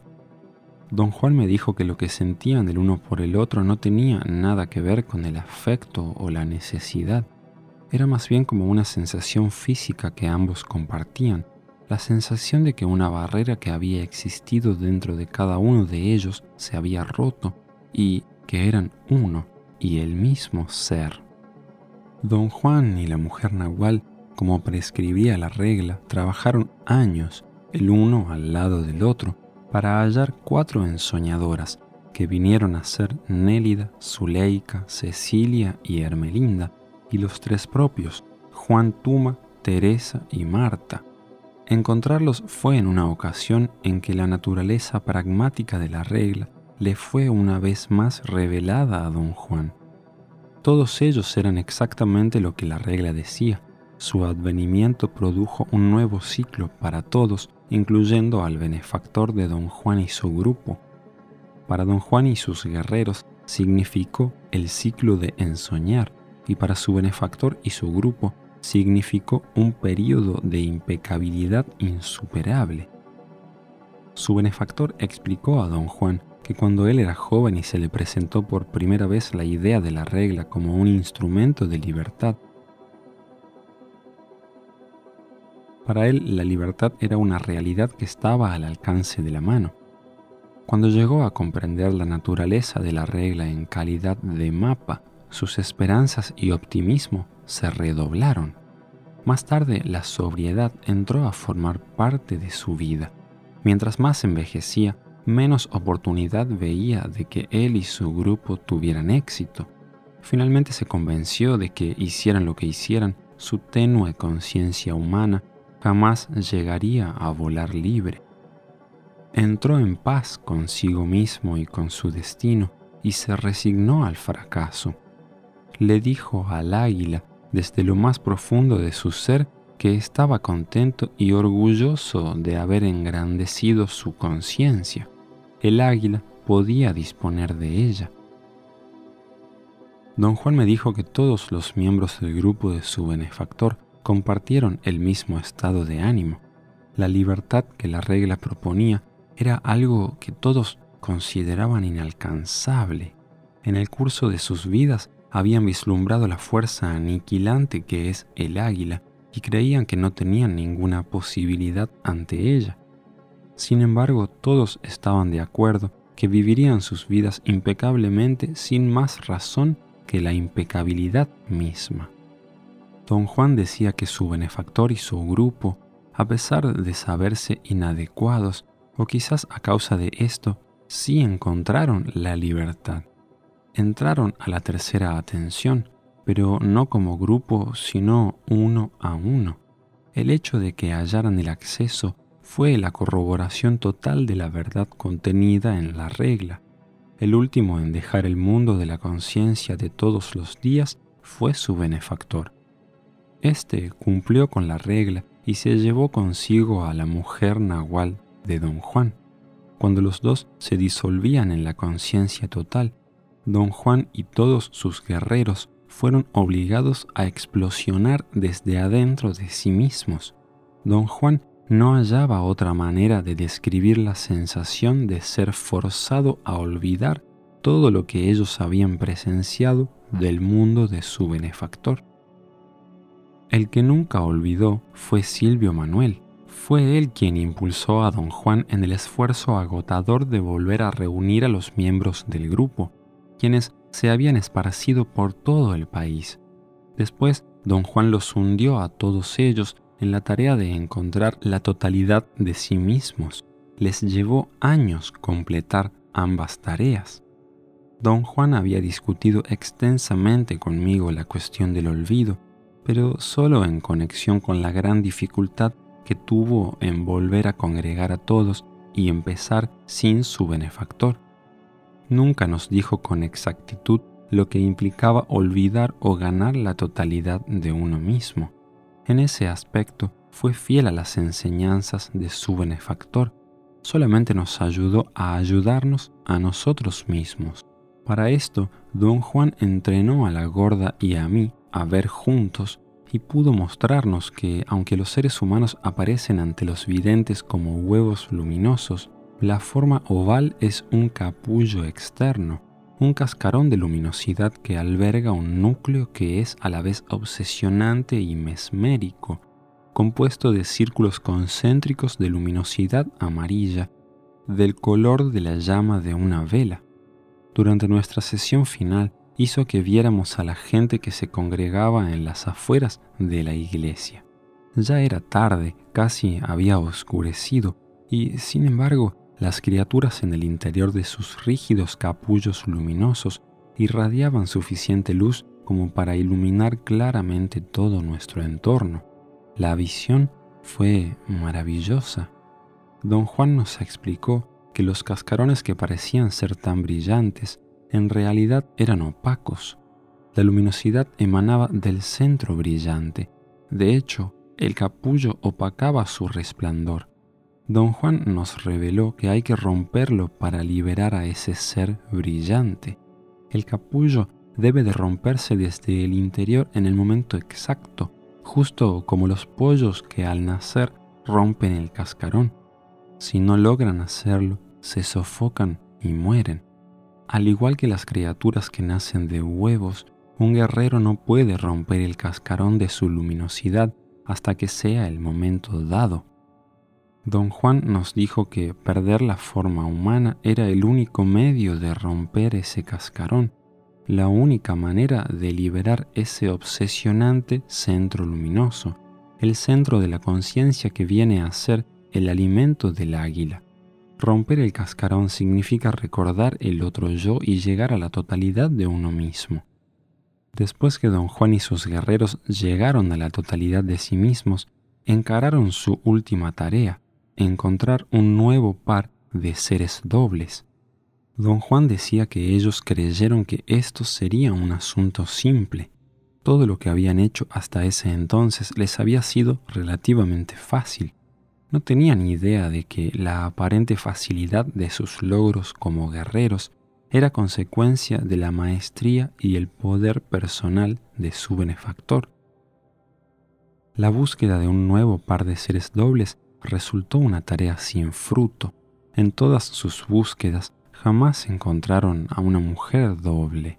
Encontraron varios hombres dobles, pero todos estaban bien situados, atareados, prolíficos y tan satisfechos con sus vidas que habría sido inútil aproximárseles. No necesitaban hallar un propósito en la vida, creían haberlo encontrado ya. Don Juan decía que un día se dio cuenta de que él y su grupo estaban envejeciendo y que no parecía haber esperanzas de llegar a cumplir con su tarea. Esa fue la primera vez que sintieron el aguijonazo de la desesperación y la impotencia. Silvio Manuel insistió en que todos debían resignarse y vivir impecablemente sin esperanzas de encontrar la libertad. A don Juan le era plausible que esto en verdad pudiese ser la clave de todo. En este aspecto se descubrió siguiendo los pasos de su benefactor. Llegó a aceptar que un invencible pesimismo domina al guerrero en cierto punto de su camino, una sensación de derrota o quizá más exactamente una sensación de inutilidad le llega casi sin que se dé cuenta. Don Juan decía que antes él se reía de las dudas de su benefactor y no podía llegar a creer que éste se preocupara en serio. A pesar de las protestas y las amonestaciones de Silvio Manuel, don Juan creyó siempre que esta era una gigantesca estratagema destinada a enseñarles algo. Puesto que don Juan no podía creer que las dudas de su benefactor fuesen reales, tampoco podía creer que fuese genuina la resolución de su benefactor de vivir sin esperanza de libertad. Cuando finalmente comprendió que su benefactor, con toda seriedad, se había resignado a la derrota, también comprendió que la resolución de un guerrero de vivir impecablemente a pesar de todo no puede ser concebida como una estrategia para asegurar el triunfo. Don Juan y su grupo se demostraron esta verdad a sí mismos Citando, se dieron cuenta cabal de que no tenían ventaja contra las fuerzas de lo desconocido. Don Juan decía que en tales momentos el entrenamiento de toda una vida es lo que sale a mano y el guerrero entra en un estado de humildad insuperable. Cuando se vuelve innegable la pobreza de los recursos humanos, el guerrero no tiene otra alternativa que retroceder y agachar la cabeza. Don Juan se maravillaba de que dichas circunstancias no parecen tener efecto en las guerreras de un grupo. El desorden las deja imperturbables. Nos dijo que ya había advertido esto en el grupo de su benefactor. Las mujeres nunca se mostraron tan preocupadas ni tan abatidas como los hombres. Parecía que simplemente le llevaban la corriente a su benefactor y lo seguían sin mostrar signos de desgaste emocional. Si estaban de algún modo confundidas, parecían ser indiferentes a esto. Estar atareadas era todo lo que contaba para ellas. Era como si solamente los hombres hubieran hecho una oferta por la libertad y sintieran el impacto de una oferta contraria. Don Juan observó el mismo contraste en su propio grupo. Las mujeres estuvieron inmediatamente de acuerdo cuando él se convenció de que sus recursos eran insuficientes. Don Juan solo pudo concluir que las mujeres, aunque jamás lo decían, nunca habían creído tener recurso alguno. En consecuencia, no había manera de que se sintieran frustradas o desalentadas al toparse con su impotencia. Desde un principio ya sabían que era así. Don Juan nos dijo que la razón por la que el águila exigía un número doble de guerreras era precisamente debido a que las mujeres tienen un equilibrio innato que no existe en los hombres. En un momento crucial son los hombres los que se ponen histéricos y se suicidan si es que consideran que todo está perdido. Una mujer podrá matarse por falta de dirección y de propósitos, pero no debido al fracaso de un sistema al cual pertenece. Después de que don Juan y su grupo de guerreros perdieron toda esperanza, o más bien, como decía don Juan, después de que él y los hombres tocaron fondo y las mujeres hallaron maneras apropiadas de llevarles la cuerda, don Juan finalmente encontró un hombre doble al cual se podía aproximar. Yo era ese hombre doble.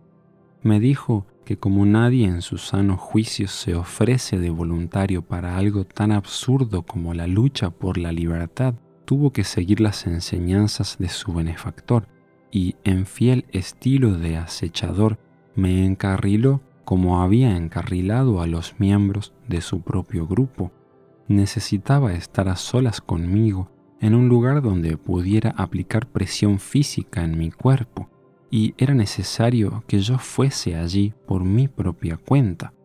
Me atrajo a su casa con gran facilidad. Como decía, obtener a un hombre doble no es gran problema. La dificultad estriba en hallar uno que esté disponible.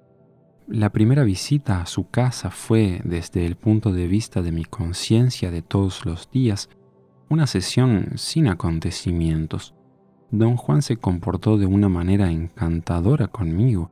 Condujo la conversación hacia la fatiga que experimenta el cuerpo después de largos viajes en automóvil. A mí, que era estudiante de antropología, este tema me pareció absolutamente fuera de propósito. Después, don Juan comentó que mi espalda parecía desalineada y sin decir más me puso una mano en el pecho, me irguió la barbilla y me dio una fuerte palmada en la espalda. Me tomó tan desprevenido que perdí el conocimiento. Cuando volví a abrir los ojos sentí un dolor agudísimo, como si me hubieran partido la espina dorsal, pero también sentí que yo era diferente, era otro y no el yo que siempre había sido. A partir de ese momento, cada vez que veía a don Juan, éste me hacía cambiar niveles de conciencia y después procedía a revelarme la regla. Casi inmediatamente después de encontrarme, don Juan descubrió a una mujer doble. No la puso en contacto conmigo siguiendo una estratagema tal como su benefactor había hecho con él, pero concibió un ardid tan efectivo y elaborado como los de su benefactor, mediante el cual él mismo atrajo y obtuvo a la mujer doble. Don Juan asumió esa carga porque creía que el deber del benefactor es obtener a los dos seres dobles tan pronto como se les encuentra y luego ponerlos juntos como socios de una empresa inconcebible me dijo que un día, cuando vivía en Arizona, había ido a una oficina gubernamental para llenar una solicitud. La recepcionista le dijo que fuera con una empleada de la sección adyacente y, sin levantar la cabeza, señaló hacia su izquierda. Don Juan siguió la dirección del brazo extendido y vio a una mujer doble sentada en un escritorio. Cuando le llevó la solicitud, se dio cuenta de que en realidad era una jovencita quien le informó que ella no tenía nada que ver con las solicitudes. No obstante, compadecida ante el pobre viejecillo indio, le ofreció ayudarlo. Se requerían algunos documentos legales que don Juan llevaba en su bolsillo, pero él fingió total ignorancia y desamparo. Se comportó como si la organización burocrática fuese un enigma para él Don Juan decía que no le fue nada difícil imitar un estado de completa insensatez. Todo lo que tuvo que hacer fue volver a lo que una vez había sido su estado normal de conciencia. Su intención era prolongar el trato con la muchacha el mayor tiempo posible. Su benefactor le había dicho, y él mismo lo había verificado, que las mujeres dobles son sumamente escasas. Su benefactor también le había prevenido que tienen recursos internos que las vuelven sumamente volátiles. Don Juan temía que si no manejaba sus cartas expertamente, iba a perderla. Para ganar tiempo, se apoyó en la compasión que ella mostraba. Creó mayores dilaciones fingiendo haber perdido los documentos. Casi todos los días le llevaba uno diferente. Ella lo leía y se lamentaba de que no fuera el adecuado. La mujer se conmovió tanto por la deplorable condición de don Juan que se ofreció a pagarle un abogado que le prepararía una declaración jurada que supliera los documentos. Después de tres meses, don Juan pensó que era ya el momento de mostrar los documentos. Para entonces, la muchacha se había acostumbrado a él y casi esperaba verlo todos los días. Don Juan fue por última vez a expresarle su agradecimiento y a decirle adiós. Le dijo que le habría gustado llevarle un regalo para mostrarle su gratitud, pero no tenía dinero ni para comer. Ella se conmovió ante este candor y lo invitó a almorzar. Cuando comían, don Juan reflexionó en voz alta que un regalo no tiene que ser por fuerza un objeto que se compra. También podía ser algo que fuera únicamente para la vista del testigo, algo hecho para recordar y no para poseer. A ella la intrigaron estas palabras. Don Juan le recordó que ella había expresado compasión hacia los indios y su condición miserable, le preguntó si no le gustaría ver a los indios bajo otra luz, no como seres miserables, sino como artistas. Le dijo que conocía a un viejo que era el último descendiente de una línea de bailarines de poder. Le aseguró que ese hombre bailaría para ella si él se lo pedía, y aún más le juró que ella jamás en su vida había visto algo semejante y que jamás volvería a ver. Se trataba de algo que solo los indios presenciaban. A ella le fascinó la idea. Fue por él después de su trabajo en su automóvil y don Juan la guió hacia las colinas donde estaba su propia casa. Hizo que estacionara el auto a una considerable distancia y siguieron a pie el resto del camino. Antes de llegar a la casa, don Juan se detuvo y trazó una raya con el pie en la tierra seca y arenosa le dijo que esa raya era un lindero y la instó a que lo cruzara. La mujer nahual me contó que hasta ese momento ella se hallaba intrigadísima ante la posibilidad de ver un genuino bailarín indio, pero que cuando el viejo hizo una raya en el suelo y la llamó un lindero, ella empezó a titubear. Después se alarmó absolutamente cuando él añadió que ese lindero era solo para ella y que una vez que lo cruzara ya no habría cómo regresar. El indio aparentemente vio la consternación de la muchacha y quiso tranquilizarla. Cortésmente le palmeó el hombro y le dio su garantía de que no le ocurriría ningún daño mientras él estuviera allí. Le dijo que el lindero podía explicarse como una forma de pago simbólico al bailarín quien nunca aceptaba dinero. El ritual reemplazaba al dinero y el ritual requería que ella cruzara el lindero por su propia cuenta. El viejo, al parecer lleno de júbilo, dio un paso por encima de la línea y le dijo que para él todo lo que estaban haciendo eran puras necedades indias, pero que había que seguirle la corriente al bailarín, quien se hallaba mirándolos desde el interior de la casa, si es que ella quería verlo bailar. La mujer nahual me contó que repentinamente tuvo tanto miedo que no podía moverse para cruzar la línea. El viejo hizo un esfuerzo por persuadirla, diciendo que cruzar ese lindero era benéfico para todo el cuerpo. Él, al cruzarlo, no solo se había sentido más joven, sino que en realidad se había vuelto más joven pues tal era el poder que tenía ese lindero. para demostrar lo que decía, volvió a cruzar la raya en retroceso y en el acto sus hombros se desplomaron, las esquinas de su boca se inclinaron hacia abajo, sus ojos perdieron el brillo. A la mujer nahual le era imposible negar las diferencias que generaba el cruce. Don Juan volvió a cruzar la raya por tercera vez, respiró hondamente, expandiendo el pecho, se movía con energía y seguridad. La mujer nahual dijo que le pasó por la mente la idea de que si don Juan se sentía tan joven, hasta le llegaría a hacer proposiciones sexuales. Su automóvil se hallaba demasiado lejos para correr a él.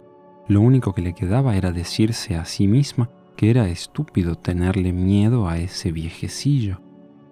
Después el viejo trató de hacerle ver el chiste que todo aquello tenía, en un tono de conspirador como si renuentemente le revelara un secreto. Le dijo que solamente se hallaba fingiendo ser más joven para satisfacer al bailarín y que si ella no lo ayudaba cruzando la raya, se iba a desmayar en cualquier momento debido al esfuerzo de caminar con la espalda derecha. Volvió a cruzar de un lado al otro de la línea para mostrarle el inmenso esfuerzo que implicaba su pantomima. La mujer nahual me dijo que los ojos suplicantes de don Juan revelaban los dolores que su cuerpo estaba pasando al fingir juventud. Cruzó la línea para ayudarlo y para terminar el espectáculo. Quería irse a casa. El viejo la ayudó a incorporarse y se disculpó por haberla engatusado. Le dijo que él era en realidad el bailarín y su vuelo por encima de la casa había sido su baile. Le preguntó si se había fijado en la dirección del vuelo. La mujer hizo un círculo con su mano de derecha a izquierda. Don Juan le palmeó la cabeza paternalmente y dijo que había sido muy propicio que ella hubiese estado atenta. Después añadió que quizá ella se había lastimado al caer, que de ninguna manera podía dejarla ir sin asegurarse de que estaba bien. Sin más ni más, don Juan le irguió los hombros y le alzó la barbilla, como si la dirigiera a que estirara la espina dorsal. Cuando le dio un fuerte golpe entre los omóplatos y literalmente le sacó todo el aire de los pulmones. Durante unos instantes ella no pudo respirar y se desmayó. Cuando volvió en sí, se hallaba dentro de la casa. Su nariz sangraba, sus oídos zumbaban, su respiración estaba acelerada y no podía enfocar la vista. Don Juan le indicó que hiciera inhalaciones profundas mientras contaba hasta ocho. Mientras más respiraba, más se aclaraba todo. Me contó ella que en un momento dado el cuarto se volvió incandescente, todo destellaba con una luz ámbar, quedó estupefacta y ya no pudo seguir respirando profundamente. Para entonces la luz ámbar era tan densa que parecía neblina. Después la niebla se convirtió en telarañas de color ámbar. Por último, se disipó, pero el mundo continuó uniformemente ámbar durante un largo rato. Don Juan le empezó a hablar. La condujo afuera de la casa y le mostró que el mundo se hallaba dividido en dos mitades.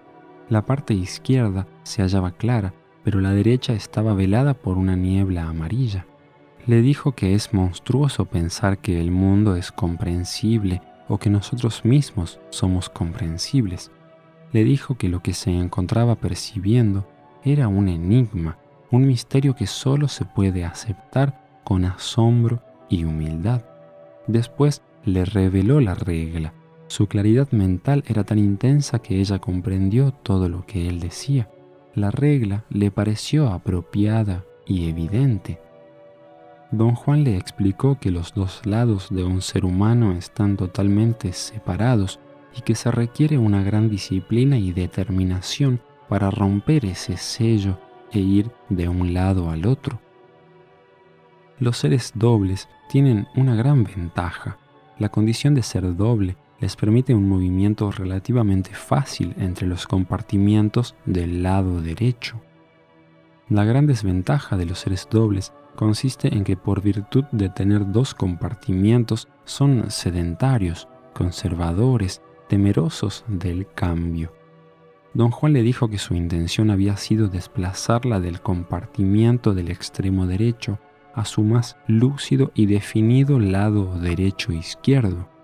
Pero en vez de eso, a causa de un giro inexplicable, el golpe la había enviado a través de toda su doblez de la extrema derecha cotidiana a la extrema izquierda. Cuatro veces la golpeó en los omóplatos a fin de reubicarla en el estado normal de conciencia, pero sin éxito. Dos golpes la ayudaron, sin embargo, a hacer que su percepción de la pared de niebla obedeciera a su voluntad. Aunque no había sido su intención, don Juan había estado en lo cierto al decir que cruzar la línea era un viaje sin retorno. Una vez que ella lo cruzó, al igual que Silvio Manuel, ya nunca regresó. Cuando don Juan nos puso cara a cara a la mujer nahual y a mí, ninguno de los dos sabía nada de la existencia del otro, y sin embargo, al instante sentimos una intensa familiaridad. Don Juan sabía, a través de su propia experiencia, que el alivio que los seres dobles experimentan el uno en el otro es indescriptible y demasiado breve. Nos dijo que fuerzas incomprensibles a nuestra razón nos habían colocado juntos y que lo único que no teníamos era tiempo. Cada minuto podía ser el último, por tanto tenía que ser vivido con el espíritu. Una vez que don Juan nos reunió, todo lo que le restó a él y a sus guerreros fue encontrar cuatro acechadoras, tres guerreros y un propio para completar nuestro grupo. Para ese fin, don Juan encontró a Lidia, Josefina, la Gorda, Rosa, Benigno, Néstor, Pablito y Eligio. Cada uno de ellos era una réplica incipiente de los miembros del grupo de don Juan.